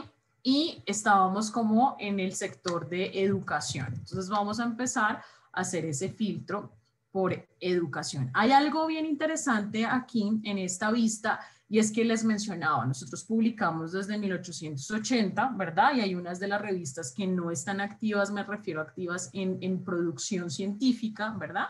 Entonces, hay, una, hay un filtro aquí que se llama, vamos a filtrarlo por journals para la actividad que estamos generando, pero dice journals status. Este journals status y que acepta eh, submissions, pues son las que están activas en estos campos que estamos identificando. Entonces, para la, el ejercicio que estamos haciendo, pues vamos a tener aquí, vamos a poder buscar ya eh, para el ejercicio la revista que estamos haciendo, pero algún eh, tip que les quiero dar en la sesión del día de hoy es esta lectura rápida, ¿vale? Que lo que les mencionaba en el Severe Journal Finder. A veces está ahí pero pues la interpretación es un poco difícil o diferente eh, cuando no eh, conocemos estos conceptos. Entonces, ¿qué significa esto?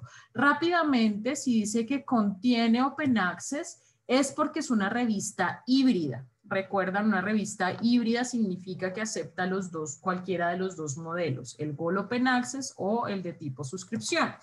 Si no dice que contiene Goal Open Access, eh, perdón, que contiene Open Access, es porque es full Goal Open Access. Esta revista no aceptará de em, documentos de tipo suscripción o por el contrario, solamente dice Journal y si solamente dice Journal, como si me regreso un poquito aquí, vamos a ver que esto solamente acepta eh, eh, documentos de tipo suscripción. ¿Listo?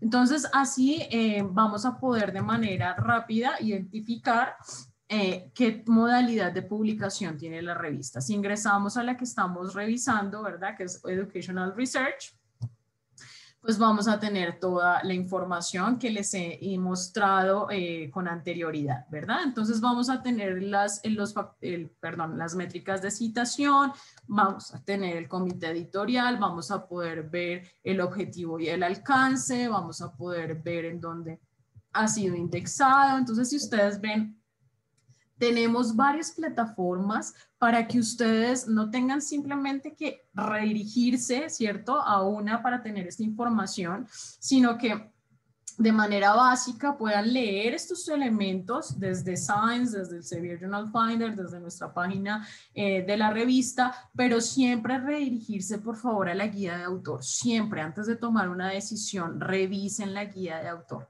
¿Listo? Para nuestra última plataforma de nuestra primera parte de la sesión será Scopus. Por favor, esto es para aquellas personas que suscriben Scopus, eh, ingresar nuevamente por eh, los portales de sus bibliotecas, ¿listo? ¿Y qué es lo que quiero mostrarles aquí rápidamente? Mencionaba las cuatro primeras plataformas, es para publicar con nosotros.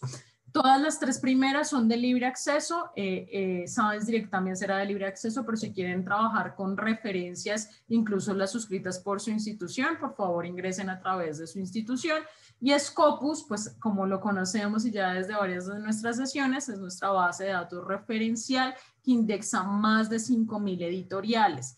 ¿Qué significa esto? Pues que vamos a tener un panorama más amplio, ¿cierto? De pronto no quiero publicar con el Elsevier, pero sí quiero tener una visibilidad en Scopus o incluso no es necesario, pero pues aquí estarán las que tienen ya una visibilidad acá. Entonces, ¿qué vamos a hacer aquí?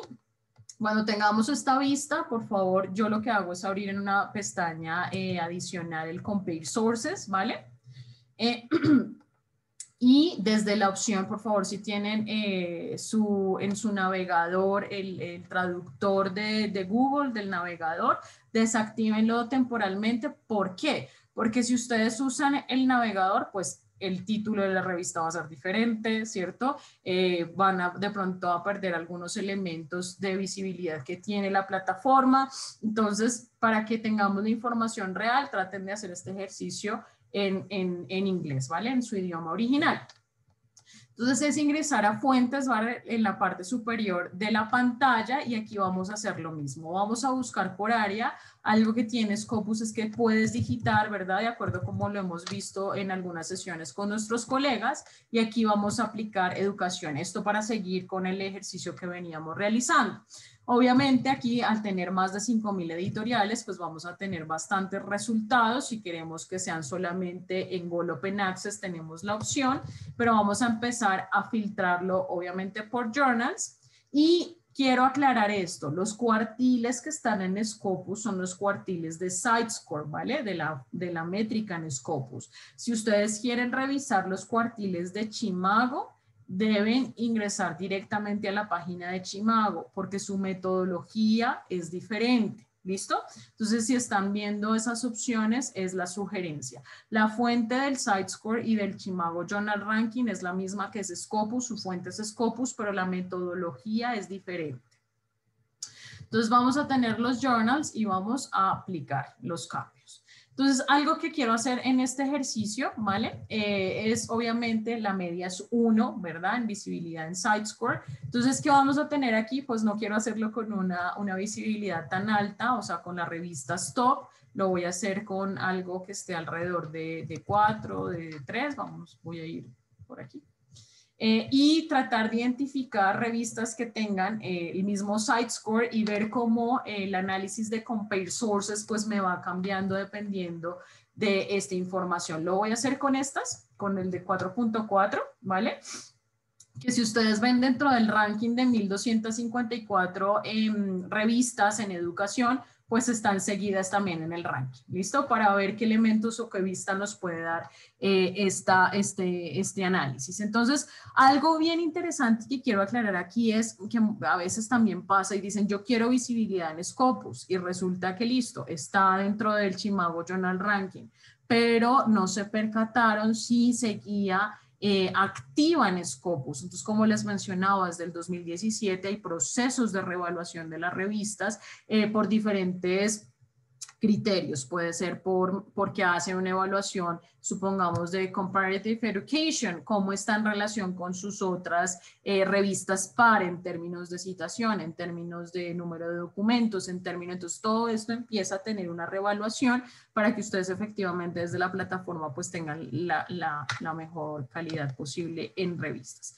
Entonces, es muy importante aquí, antes de ir a la comparación, voy a abrir alguna de estas, ¿vale? Para mostrarles cómo identificar si sigue siendo indexados los documentos en la revista. Lo que hice fue dar clic encima del, no, del título, pero lo abrí en una pestaña adicional para no perder mi, mi ejercicio, ¿vale? Entonces aquí dice, el, editor es American Physical Society, ¿cierto? El Scopus Cover Years es desde el 2016 al presente. Si tú publicaste con ellos en el 2015, pues no estarás indexado aquí, ¿vale? Pero para asegurarnos, pues empecemos a mirar pues cómo está la citación, pero además de eso, en la parte de abajo tenemos un Scopus Content Coverage. Aquí vamos a poder ver y algo que me parece bien interesante y que también es fácil de identificar, de pronto los cambios de frecuencia en publicación que les mencionaba resulta que publica 96 y ahora en el 2020 van 200. Pues hay que revisar por qué de pronto cambiaron y están aceptando otro tipo de artículos. Pues debería decirlo en la revista, ¿cierto? Pero debería tener una justificación. ¿Esto para qué? De pronto para evitar un poco las revistas predatorias. ¿Listo? Entonces aquí efectivamente pues ya hay 63 documentos em, eh, indexados del 2020 y las métricas de citación pues también ustedes les dará un inicio, supongamos si está por debajo de la media, ¿verdad? Dentro de, de, su, de su ranking o de, su, de su citación, pues traten de darle una mirada adicional, ¿vale? Porque posiblemente pues pueda entrar en un proceso de reevaluación en, en Scopus. Entonces, eso para ustedes corroborar que efectivamente van a tener una indexación aquí, si esa es otra necesidad. Pero para hacer el ejercicio que quiero mostrarles el día de hoy, lo que voy a hacer es, recuerdan que lo que hice fue abrir Compare Sources en una pestaña adicional, lo que voy a hacer, y esta es la vista, es que aquí me permite comparar hasta 10 revistas indexadas en Scopus, por su título, por la editorial, por el ISSN, aquí lo vamos a hacer por el título, en donde yo lo que hice fue copiar y pegar, ¿verdad? Eh, estos resultados, y aquí voy a empezar a elegir, ¿verdad? Esa revista, eh, como les mencionaba, pues elegí unas que tengan el mismo site score y que además dentro del ranking pues estén seguidas para mostrarles lo interesante del análisis. Vamos a poner estas tres para nuestro ejercicio del día de hoy. Entonces, hay algo bien interesante, a mí me gusta mucho este análisis, esta vista, porque eh, te da otra mirada para soportar tu decisión en dónde debo publicar. Entonces, obviamente pues todas se tocan en el punto en el 2019 por su site score, pero vean lo interesante de las líneas. Entonces esta obviamente es porque en ese momento fue indexada en Scopus, ¿listo? Eh, por eso la longitud de la línea, pero miren cómo está siendo el comportamiento a través de los años en términos del site score, pero qué pasa con la vista del SJR y que les mencionaba. perdón, tiene otra eh, metodología. Entonces, vean lo interesante cómo va cambiando la curva, ¿verdad? La línea, eh, dependiendo de la métrica de citación que queramos. Incluso de pronto queremos ver la frecuencia en publicación. Entonces, vamos a tener algo aquí que se llama Documents by Year. Entonces vamos a tener esa vista, ¿cierto? Miren, obviamente aquí es porque pues se indexó, ¿verdad? La revista en Scopus, pero vean lo interesante de eh, cómo ha sido la publicación, ¿verdad? Por años dentro de las revistas, entonces empezar a tener también eh, eso en relevancia. Incluso lo que mencionaba, cuántos de esos documentos no han sido citados. Entonces aquí viene algo interesante y es, miren, el 2.13 de Urban Education no han sido citados en el 2016, eh, pero que en realidad el porcentaje es decir que están teniendo una visibilidad interesante en todos sus documentos. Entonces, les dejo este análisis, es bastante interesante desde Scopus, en donde pueden soportar su decisión en términos de eh, visibilidad en, en, en, citaciones, ¿cierto? Y en número de publicación. Entonces, esto para terminar la sesión en vivo, en plataformas en vivo y en el momento de la primera etapa de ese proceso que es dónde quiero publicar, cómo debo escribir, ¿verdad? Entonces, ¿cómo debo escribir? Revisando la guía de autor, cuando seleccionando esas revistas, ¿cierto? Mencionaba, em, yo les voy a compartir o les voy a dejar dentro de Dentro de los enlaces en Researcher Academy, eh, los enlaces directos a dos sesiones que me, parecieron muy interesantes, el del doctor Ricardo Torres de la Universidad de Antioquia, que también nos, nos, nos apoyó en una sesión donde él eh, da su vista de publicación de artículos, él, dicta un taller en la universidad bien interesante de, de artículos, y del doctor Chaviano que les comentaba, donde muestra también esta metodología del Excel. Entonces, este la primera etapa, aquí digamos, ¿verdad? Estamos ya, eh, decidimos qué revista queremos publicar y vamos a pasar a ese momento de elaboración del manuscrito. Entonces voy a compartir nuevamente mi pantalla en la parte de aquí. Entonces, eh, por favor, me confirman si, si lo están viendo.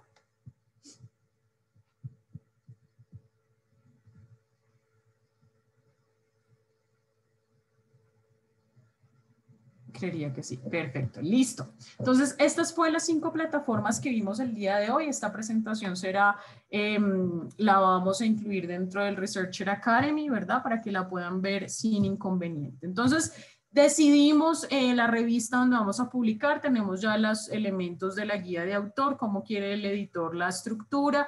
Eh, entonces, como les comentaba yo, y realicé una certificación para poder dar esta charla en donde nos sentamos con varios editores de nuestras revistas de diferentes disciplinas y esta es su vista, esto es lo que ellos eh, nos dieron para poder replicar y que las tasas de aceptación incrementen y hayan mejores manuscritos elaborados. ¿Listo? Entonces, primero pensar antes de escribir, ya voy a hablar un poquito más sobre eso, utilizar la, elegir la revista y el tipo de artículo adecuados, ya vamos a hablar un poco del tipo de artículos, eh, el idioma, hablábamos de si es una revista internacional, el inglés es vital, entonces voy a darles algunos consejos acerca del idioma y de la escritura.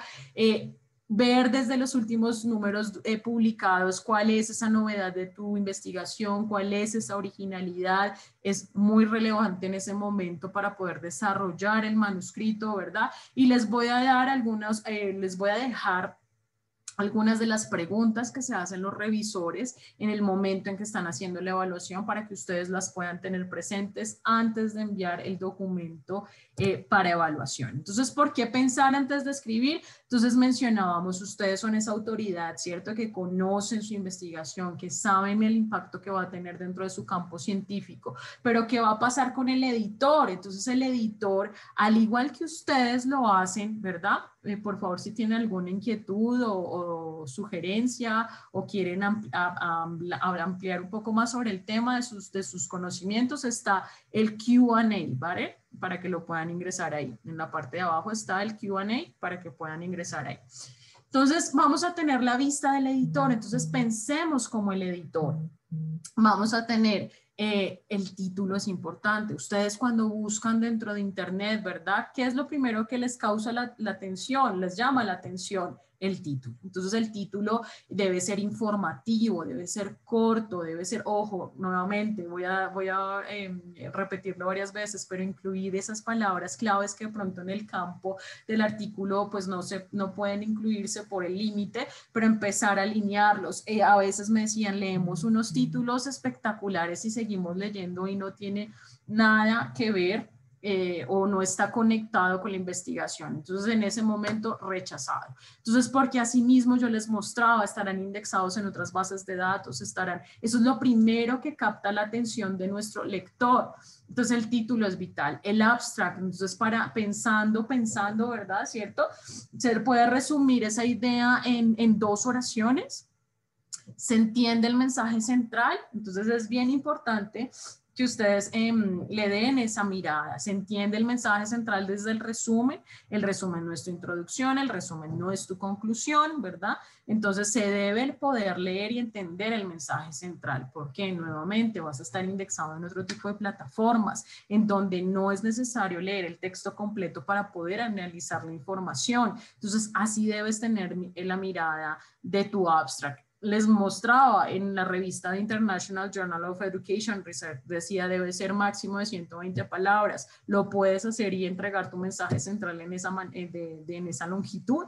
Entonces empezar a ver, hay varios criterios básicos que le llamaban ellos, que ven en el primer momento en que ustedes lo van a enviar, el título, el abstract, las palabras claves, las referencias, la introducción y la conclusión. Esos elementos básicos, ¿vale? Le darán al editor la vista de, efectivamente, primero cumpliste la guía de autor, ¿cierto? Segundo, identificas el resumen, la introducción, la conclusión y están alineados, ¿vale? Para tu título, identificas a través de las palabras claves lo que te va a dar visibilidad y a través de tus referencias identificarán si es un, eh, una investigación internacional. Ya les voy a mostrar por qué. Entonces, teniendo esa mirada al editor, que es la misma mirada que tendrá tu lector, ¿verdad? Entonces vas a tener que empezar a darle esa importancia a estos campos. Pero el revisor, si es una autoridad en tu campo científico, conoce acerca de todas las novedades, las originalidades, todas las investigaciones que se han eh, desarrollado en, en tu campo, ¿verdad? Porque el editor pues conoce la estrategia, pero de pronto en su disciplina la conoce, pero no no está, em, de pronto no, no es la persona, pero sí lo hará el revisor. Entonces el revisor verá todo. Si es un artículo original, revisará tu research data, ¿cierto? Tus datos de investigación. Eh, si es, la metodología es nueva, es antigua, se puede replicar porque toma, la tomaste si es antigua, se está explicando cómo son las abreviaturas, tiene un sentido lógico, eh, estás escribiendo de la manera correcta, o sea, todo esto lo verá el revisor y aquí es donde más se toma el tiempo este proceso. Entonces hay que darle esa mirada, ya lo vamos a ver en los tres, las tres etapas del proceso de del manuscrito. Y el lector, entonces por eso la importancia de ver esos últimos números publicados de la revista donde vas a seleccionar, eh, donde vas a escribir, perdón, entonces, ¿cómo es ese lenguaje, verdad? Eh, dentro de la guía de autor no lo mostré, pero mencionaban una, una, em, un lenguaje inclusivo, entonces estás teniendo eso presente. Entonces, hay que tener, por eso la guía de autores es vital en este proceso. Entonces, en resumen, ¿por qué pensar antes de escribir? Es importante entender, ¿cierto?, cómo el lector y cómo ustedes lo están haciendo en este momento, cómo están recopilando esas referencias. Entonces, de esa manera, pues así serán leídos en el futuro. Entonces, es claro, es lógico, ¿verdad? Em, el proceso es fácil de leer, se puede resumir tu idea en, en dos oraciones. Entonces, esto es bien importante, el pensar antes de escribir. ¿Qué quieren recibir los editores? Así como ustedes, ¿verdad? Que también son docentes, que tienen actividades con sus familias, pues van a tener espacios limitados seguramente para este proceso de escritura. Ellos también así son, lo, son así. Les, no les conté al inicio, pero en nuestras revistas, eh, los editores de nuestras revistas, menos en dos, eh, son eh, diferentes de la editorial, ¿vale? Eh, ellos son profesores de universidades prestigiosas, entonces los tiempos que tienen para la evaluación de estos manuscritos, pues de verdad quieren recibir manuscritos bien elaborados. Si ven que no están bien elaborados, ni siquiera pasarán por una revisión por par, ¿vale? Sino que simplemente estarán rechazados. Entonces tengan muy presente eso, ¿vale? Y poder identificar qué es lo que ellos quieren, cuál es esa, ese avance que tú quieres presentar, por qué tu documento es novedoso. Entonces, tenlo claro porque eso también lo vas a poder aplicar en la carta de presentación, ¿vale? Darle esas herramientas al editor en el momento en que abra tu manuscrito para evaluación. Entonces, nuevamente, esto lo hará el autor correspondiente, pero tú desde coautor o, bueno, si quieres, eres el autor principal y también el correspondiente, pues tener estos elementos claros.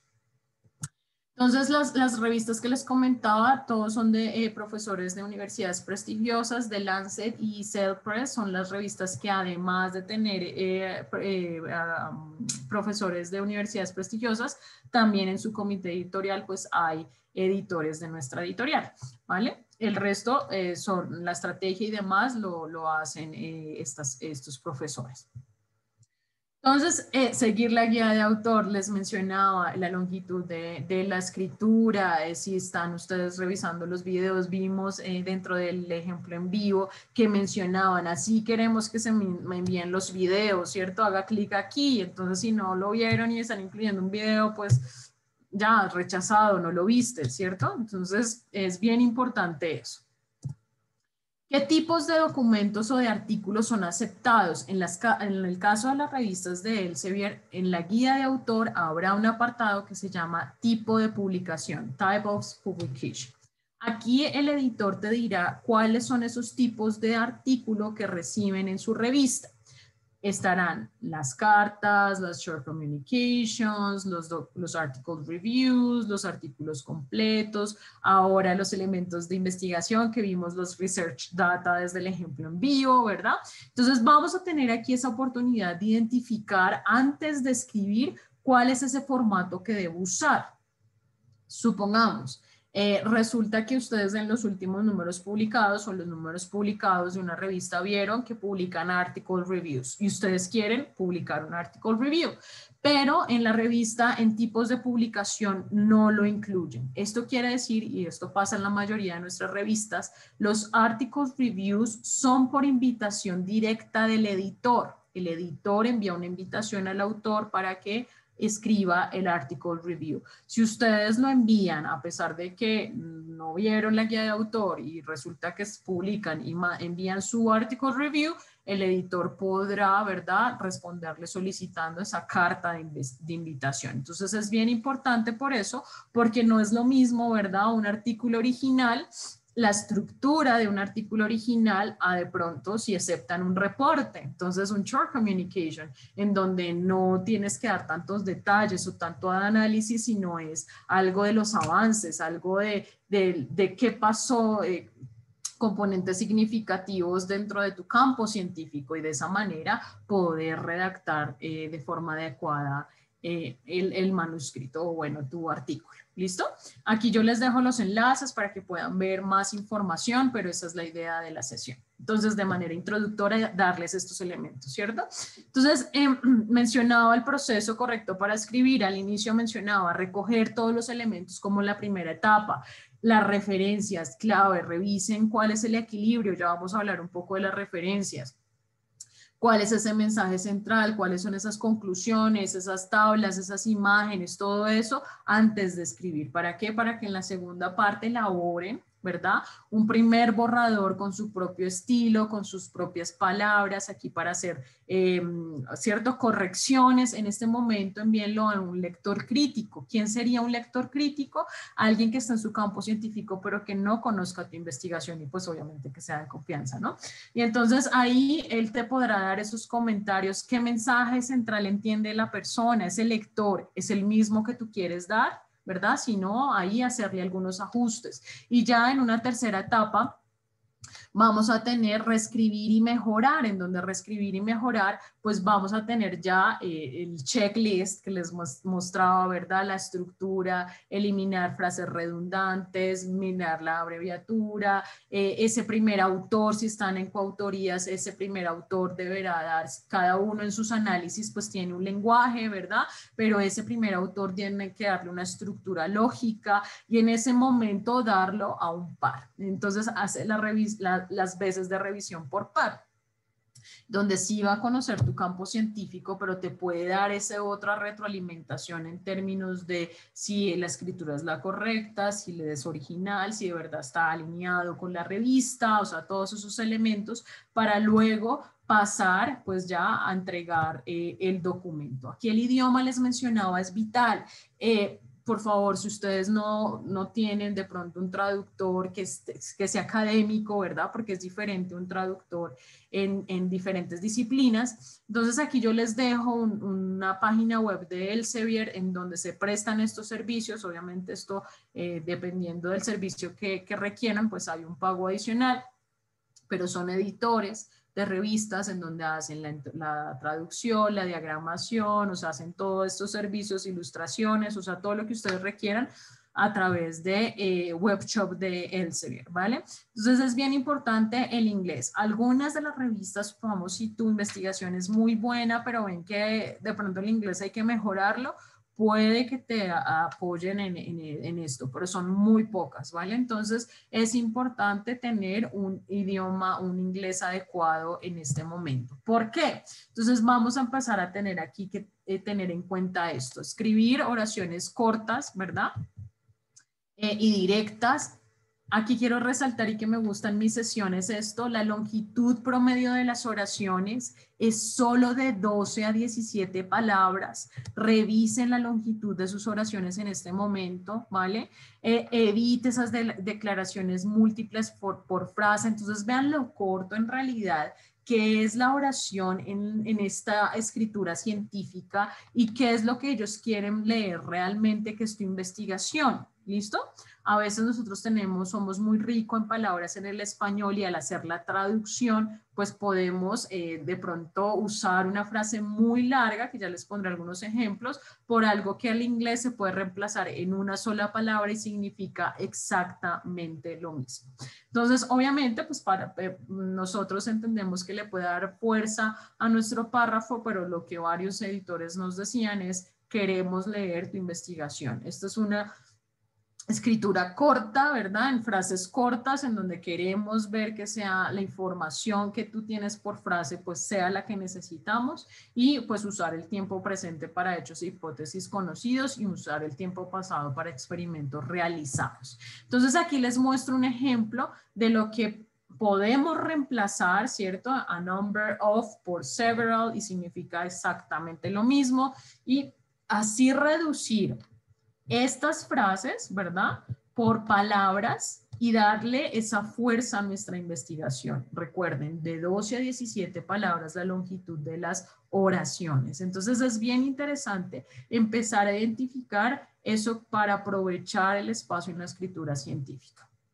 Entonces aquí les dejo la tabla, nuevamente les compartiré la presentación a través del Researcher Academy y así ustedes lo van a poder revisar. Pero entonces mencionábamos en la mirada que le daba el editor en el momento de evaluación la importancia de la introducción y referencias y quiero centrarme aquí un poco, porque aquí ellos a través de estos campos, ¿verdad? Del documento, del artículo, pues vamos a tener, ellos van a empezar a identificar cómo tu trabajo a través de la introducción se está relacionando con trabajos eh, anteriores, o sea, porque es novedoso, ¿cierto? Debes tener pues una relación con trabajos anteriores asegurarse, ¿cierto? Que estás también viendo las, las investigaciones más recientes. Entonces ya les voy a comentar un, un, em, ejemplo que, que vi hace un poco. Eh, asegurarse efectivamente que tenga una mirada internacional. Entonces ellos que quieren leer en tu introducción. Entonces quieren ver, ¿cierto? Que no es una investigación aislada, pues va a tener un enfoque internacional que en tu introducción se incluya la ponencia del campo científico, la pertenencia y, el la, y la, importancia del tema, ¿verdad? ¿Qué se ha hecho antes, por quién y cómo? Para que tú des como esa introducción efectivamente a tu documento, a tu eh, eh, texto eh, completo. Entonces aquí vamos a empezar a ver lo que se sabe, lo que no se sabe y qué preguntas quedan, pero sin necesidad de empezar a Em, afirmar o especular, ¿cierto? Entonces es darle ese paso dentro de la introducción que es diferente al resumen. Si, si lo alcanzan a detallar ahí, el resumen, ¿verdad? Es oraciones en donde esté tu mensaje central y la introducción pues es esa apertura seguir leyendo el resto de tu investigación dando un contexto, en donde la lista de referencias será vital. Aquí vamos a empezar a, hablar algo de la endogamia también, ¿verdad? Entonces, ¿cuánto es el porcentaje de autocitas permitido? En nuestro caso es alrededor de, pues obviamente esto lo pasan por softwares y demás. Entonces, esto va a tener más o menos una, una aceptación del 10% de autocitas. Eh, por los procesos, antes yo mencionaba el número de referencias mínimas dentro de un documento científico. Esto obviamente depende mucho del, del campo científico, tu área del conocimiento, pero por em, el conocimiento que he tenido a través de las evaluaciones en Scopus de indexación y de los, las conversaciones con los editores, mínimo, mínimo, mínimo, por favor, eh, si quieren publicar con nosotros, deben tener 30 referencias. ¿En dónde? Pero mínimos, así por poquito. En donde efectivamente se pueda dar esta vista. Aquí ellos van a ver, tienen dos documentos más recientes. Alguien me decía, eh, es que eh, me comentaban que no puedo usar documentos de hace más de cinco años. Sí puedes hacerlo, pero ¿cómo estás dando, verdad? Debes tener de ambos. Entonces, ¿cómo estás dando? Si es una novedad, si es original, puede que sea un documento histórico, posiblemente no sean nuestras revistas, ¿cierto? Sino otro tipo de revistas donde vas a tener un mejor impacto. Entonces, esto con miradas a lo que les mencionaba. Entonces, eh, conoces las revistas top a través de tus referencias, lo van a poder revisar. Conoces cuáles son esas autoridades en tu campo científico, a través de las referencias lo van a poder ver. Entonces, ¿y cómo se distribuyen internacionalmente? Debe haber un equilibrio, ¿vale? Entre lo que es local y esa mirada que le diste internacional a través de tus referencias. Y estar preparado efectivamente para lo que les mencionaba, las preguntas de los revisores. Entonces, en el momento que ya tengas el documento para enviar, hazte estas preguntas, dale otra vez una mirada al checklist, revista, revisa otra vez cómo encaja tu investigación con la revista, cuál es esa novedad, ¿cierto? Eh, ¿Qué es lo que tú estás reportando en tu campo científico? ¿Qué avances tienes? Entonces, todo esto, por favor, denle una mirada en el momento en que eh, antes de enviarlo, ¿listo? Estas son algunas de las cosas que estarán em, eh, revisando los revisores. Además de eso, supongamos tú eres un coautor, ¿verdad? Eh, puede que pase, no todas las revistas lo hacen, pero ellos me comentaban que posiblemente, o sea, tienen, ustedes tienen que ingresar, ¿cierto? o el autor correspondiente en el momento en que están enviando el documento, el nombre de los coautores. Puede que elijan un coautor al random para preguntar y cualquier coautor de su documento debe tener, debe poder justificar la obra. ¿Listo? Completa. A pesar de que haya hecho parte solo de un análisis. Entonces deben tener esa, esa capacidad de justificar la obra completa. ¿Listo? Cualquiera de sus coautores. Perfecto. Entonces aquí vamos en el momento o en el ciclo introductorio. Aquí les quiero dar como una vista, ¿verdad? Del momento en donde se, vamos a enviar el manuscrito. Entonces ya vimos las herramientas eh, de apoyo para dónde publicar, vimos ese pensamiento que se debe tener antes de escribir, cuáles son esas etapas aconsejables para la elaboración del manuscrito de acuerdo con la guía de autor de esa revista que hayan seleccionado. Y si supongamos que hicieran una revista con, de nosotros, eh, el proceso pues se hace a través de una plataforma que se llama eVice, ¿verdad? eVice, en donde el autor correspondiente crea una, una página, un perfil y desde ahí se hace el proceso de evaluación. Pero viene algo bien relevante aquí, es la carta de presentación. Supongamos aquí en Colombia, eh, cuando tú quieres aplicar a un trabajo laboral, ¿verdad? Una, una oportunidad laboral, eh, debes junto con tu hoja de vida enviar una carta de presentación. Eh, funciona igual con el manuscrito. Entonces aprovechen esta oportunidad, por favor, les van a pedir la carta de presentación. Entonces aquí pues es aprovecharse, presentarse, cuál es su trayectoria, cuál es su experiencia. Eh, recuerdan los primeros elementos que les decía, cuál es esa novedad, incluyanla acá, porque la importancia para la revista, esto es de, no más de una hoja, o sea, esto no es muy largo, entonces aprovechen esta oportunidad que es la apertura que le darán, ¿verdad? A eh, la, la, la evaluación de su documento. Aquí algo que ellos, y lo que les mencionaba, en donde más se demora el proceso, es en el momento de seleccionar pares, ¿cierto? Que acepten la evaluación. Entonces, si ustedes quieren postularse para otros documentos, para otras, lo pueden hacer, lo ven bien, eh, si cuentan pues obviamente con toda esta experiencia y con la trayectoria, eh, o sugerir a algunos que puedan evaluar su documento, esto, lo, esto es voluntario, pero también pues los, los pueden usar efectivamente para, para la revisión de su manuscrito o pues para otros manuscritos, entonces también lo ven muy bien los editores. Disculpen un momento, por favor. Listo. Entonces, vamos al proceso editorial y eh, las opciones de revisión por par. Entonces, tenemos aquí varios eh, eh, tipos de revisión por par. ¿Esto qué significa? Estas serán las personas. Nuevamente, esto lo hacen de manera eh, gratuita. ¿Por qué lo hacen? Porque así van a tener, ¿cierto?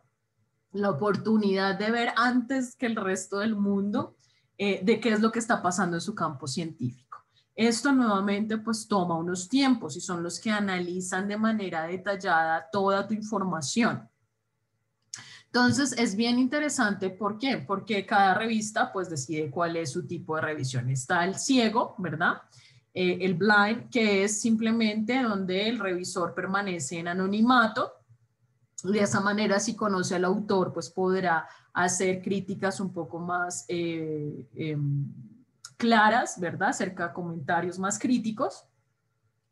El double blind, que es como el que veíamos en el ejercicio en vivo, es donde el autor y el revisor permanecen en anonimato en el proceso de evaluación. y así nuevamente pueden hacerse comentarios más críticos. El, triple blind o el triple ciego, en donde vamos a tener a, incluso el editor y va a ser todo a través del sistema editorial. O el abierto donde todos se conocen y hay algo aquí bien interesante que les dejo aquí que es el de cascada. El de cascada significa que puede que tu investigación en el proceso de evaluación eh, sea interesante, pero no para esa revista. Entonces lo que hace el editor es, perdón, es aconsejar al autor en publicar ay, una disculpa, publicar em, eh, el documento en otra revista de, nuestra casa editorial. Entonces, el otro editor lo que puede hacer es con esos comentarios de los revisores decidir si acepta o no, pues ya el manuscrito con esos comentarios o si pasa nuevamente por otro proceso de revisión. Entonces, vamos a tener esos tipos. Y aquí les quiero mostrar cómo es el flujo para, a mí lo que les mencionaba, me encanta más como lo visual. Entonces, ¿qué pasa? Lo envían ustedes a través de nuestro sistema, llega el editor, el editor revisa estos requerimientos básicos, lo cumple o no lo cumple. si lo cumple, aquí en pasa, ¿cierto? Envía invitaciones a los revisores y eh, vamos a tener la oportunidad de que de tener mínimo dos revisores por documento. Entonces ellos también tienen un sistema donde ah, eh, aceptan o rechazan las invitaciones y eh, vamos a tener unos tiempos y por eso también los tiempos de decisión que les mostraba en el Severe Journal Finder. Entonces vamos a tener si eh, ellos esperan alrededor de 10 días para ver si el, el, revisor acepta la invitación. En el caso de que la acepte, pues tendrá un tiempo para hacer la evaluación.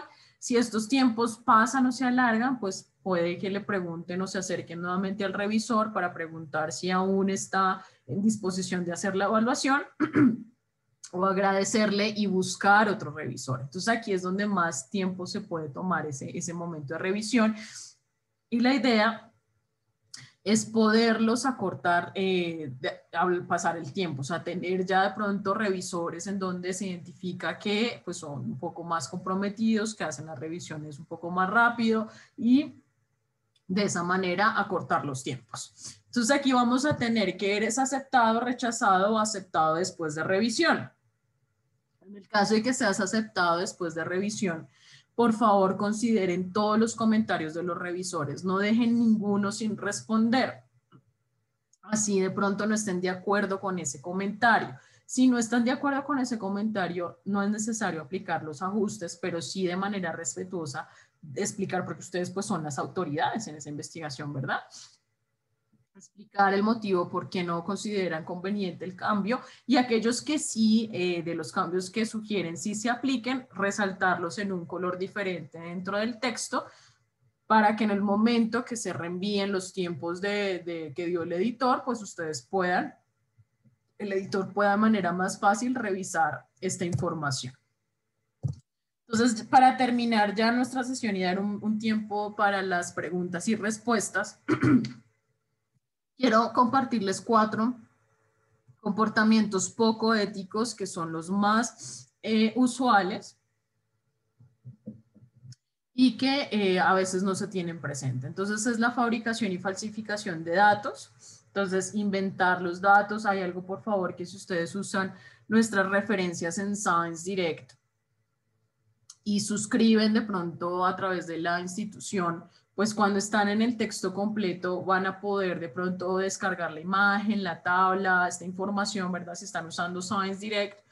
Esta, es, esta opción o esta es válido si ustedes son docentes o son estudiantes y están entregando algo dentro de la universidad o lo quieren para una clase o para una exposición, bueno, diferentes términos académicos, pero si es para la elaboración de nuevo conocimiento, de nueva producción científica, por favor, cuando estén eh, dentro de nuestra plataforma. Eh, luego de los autores dentro del artículo van a ver un Get Right and Content en azul. Esa es la manera adecuada de solicitar los derechos a los autores para usar ese, ese material o esas tablas o demás dentro de su eh, documento. Esto es para generación de nuevo conocimiento. ¿Listo? Esa sería la manera adecuada. Entonces, el plagio, si ustedes en sus instituciones suscriben Turnitin o suscriben eh, Ticket, ¿verdad? Que he escuchado que varias instituciones lo hacen y pasan su manuscrito por este tipo de, de softwares, por favor traten de asegurarse que no guarde los datos en la nube. Y si eh, usaron este, estos softwares, e incluyanlo dentro de su carta de presentación, el día y el momento, cuál fue el software que usaron para que el editor, en el momento que también pase por estos sistemas, el documento, pues eh, si hay un porcentaje de compatibilidad, pues superior también al 10-20% eh, con respecto a lo que se encuentre, pues va a tener una justificación que igual van a, si lo encuentran, pues se comunicarán pero eh, eh, es importante que ustedes lo tengan presente. Los envíos múltiples, no lo hagan, por favor. Si ustedes enviaron a una revista, esperen si es aceptado o rechazado para poderlo enviar a otra, ¿verdad? Si es aceptado y lo quieren enviar a otra, pues hay revistas que sí lo permiten porque ustedes firman unas licencias, pero si no, pues habría que revisar con el editor. Pero entonces aquí es, es bastante interesante que ustedes sí eh, de pronto ya tienen mucho tiempo esperando una respuesta del editor, ¿verdad? Hagan, escriban una carta, revisen las éticas de publicación de esa revista, cuál es esa directriz, qué pasa. Usualmente eh, es escribir una carta, ¿verdad? Solicitando que ya por los tiempos, pues de pronto quieren retirar su documento para evaluación y de esa manera, pues poderlo enviar a otra, porque si lo envían en varios eh, y son aceptados en varias y publicados, después pueden tener pues complicaciones legales, ¿listo?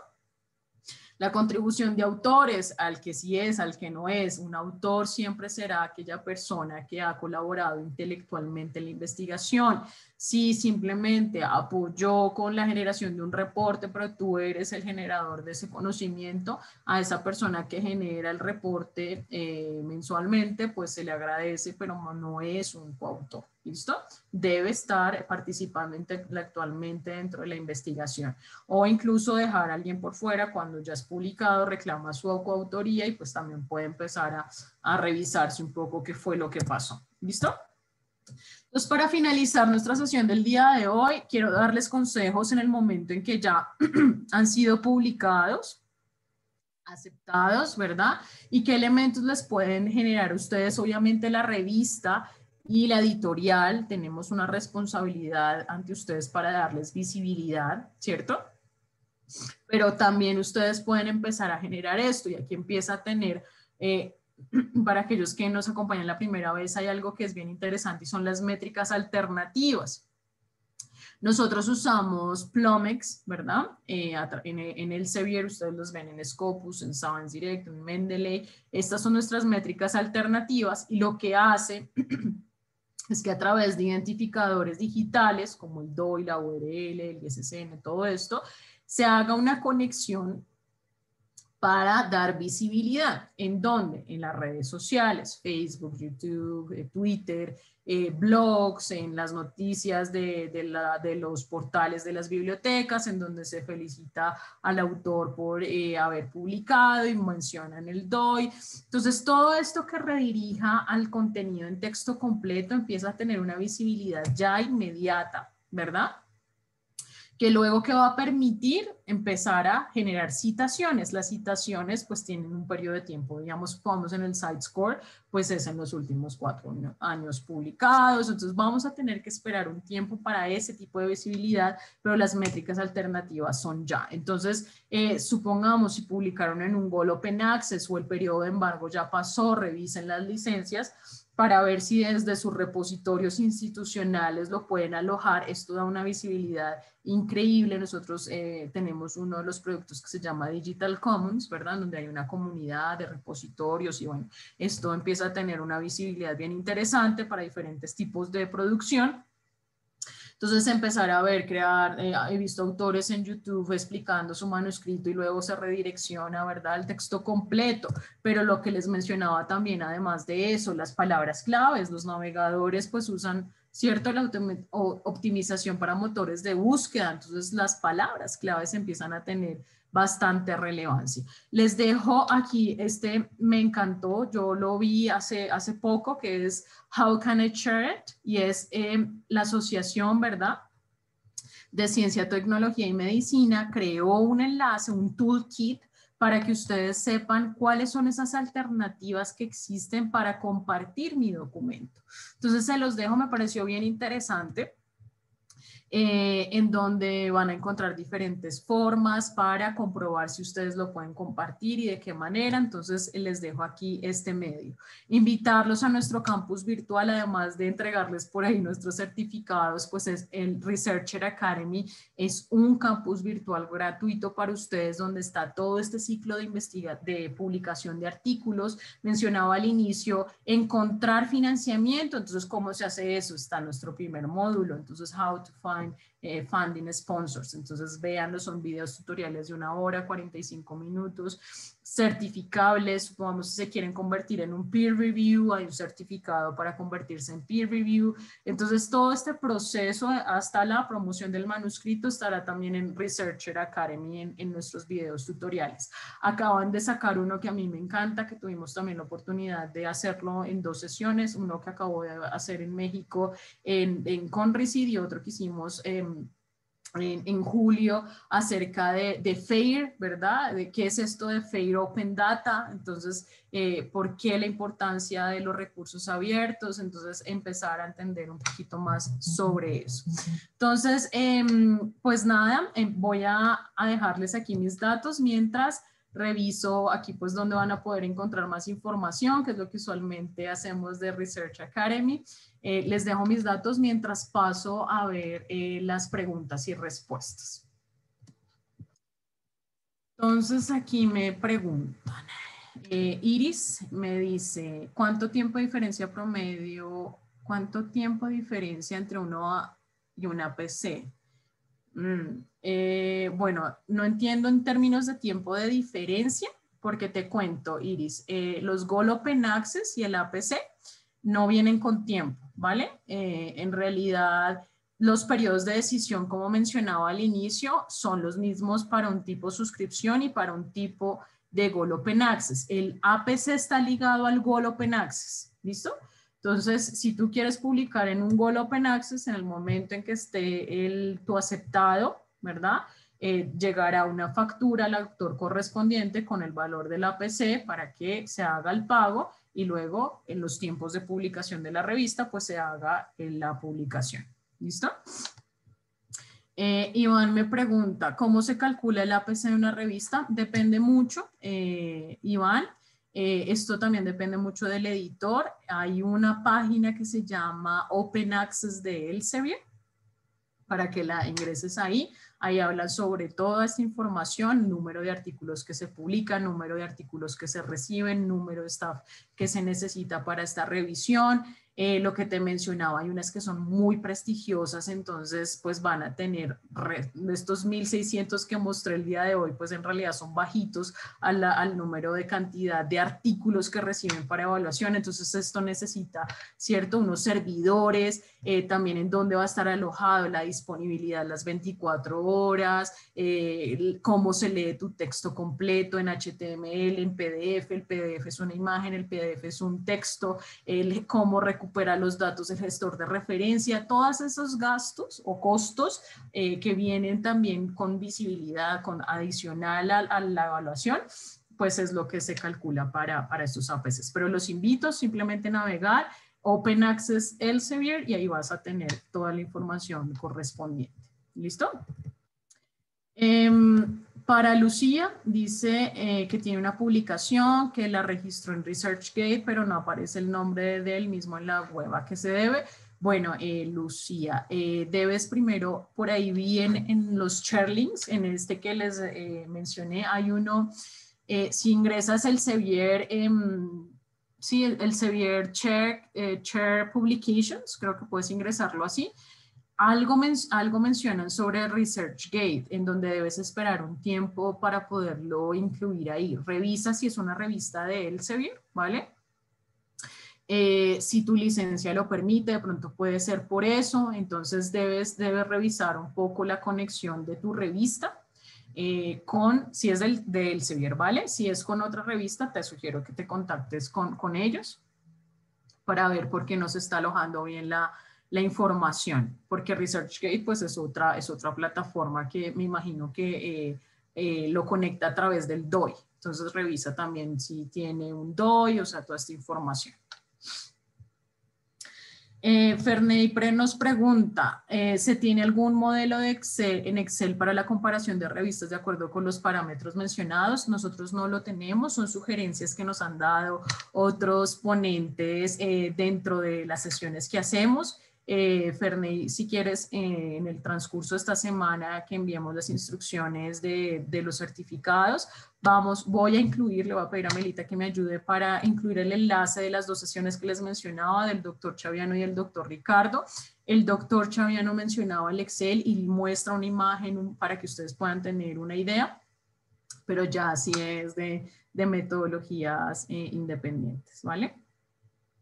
Eh, Luis, Luis eh, Emanuel, eh, la, la, plataforma que te mencionaba para, para financiamiento, hay dos, tenemos una que es suscrita, de, de pronto si, si, preguntas en tu institución si tienen Funding Institutional, se llama, la que es por suscripción, o también tenemos desde Mendeley, voy a ponerlo aquí desde el type, Mendeley Funding, para que todos lo puedan ver.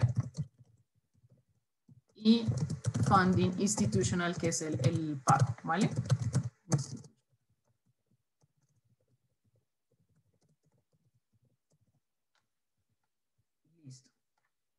Eh, muchas gracias, Alberto. Eh, tengo otra por aquí. Dice, ¿qué pasa si la publicación no tiene DOI? Entonces, listo, Lucía. Eh, aquí es importante porque eso es lo que te va a dar visibilidad. Entonces, esto depende mucho de las políticas de la revista. Eh, el DOI lo que permite es la conexión, supongamos, si está alojada en Scopus, te doy un ejemplo. Eh, nosotros en Scopus no tenemos los textos completos, pero sí redireccionamos a la fuente donde está el texto completo. Entonces, lo que hace es que ese identificador del artículo del documento se conecte de manera correcta y se vaya a la visibilidad adecuada, no a una plataforma, una, una fake page o una, una de estas. Entonces, te sugiero eh, que de pronto si lo tiene, revisa con tu revista eh, y si no, pues ya habría que de pronto en otra ocasión de ese sea un punto para que puedas analizar, que tenga un DOI, ¿vale? Esto te sirve para diferentes eh, visibilidades en otras plataformas. Em, tengo por acá, a ver, un momento, voy a poner esta. Eh, bueno, no sé cuánto tiempo nos, nos quede. si les parece, igual voy a dar una mirada a, a, las otras preguntas que nos, que nos quedaron. Voy a poner dentro de Researcher Academy un apartado donde daré respuesta a estas preguntas y puedan encontrar ahí todas las respuestas, las preguntas que nos hicieron junto con las respuestas que encontramos. ¿Listo? Eh, ya por los tiempos, porque también creo que, que vamos eh, un poquito corridos. Agradecerles nuevamente su participación, eh, invitarlos a nuestra sesión del próximo martes que la dará mi colega Carlos Rojas del uso de nuestras plataformas. Tendremos eh, dentro de 15 días a nuestro director regional Mario Ríos hablando de financiamiento. Entonces, súper invitados, regístrense en las ligas, en las fechas que, que incluimos ahí en el, en el calendario. Invitarlos a nuestro grupo del Sevier Live, ¿verdad? En donde acá les dejo dentro de, de la vista el enlace para que ingresen a nuestro grupo del de, Elsevier Live y ahí vamos incluyendo pues toda la información de este tipo de sesiones y otras relacionadas con, con estas temáticas. Eh, un abrazo, les deseo un feliz, eh, una feliz semana y pronto les estaremos enviando la información, yo creo que más o menos el viernes, en el transcurso de esta semana, información donde pueden encontrar la grabación, la presentación, las otras sesiones, enlaces de interés y puedan descargar su certificado. Un gusto a todos y feliz tarde.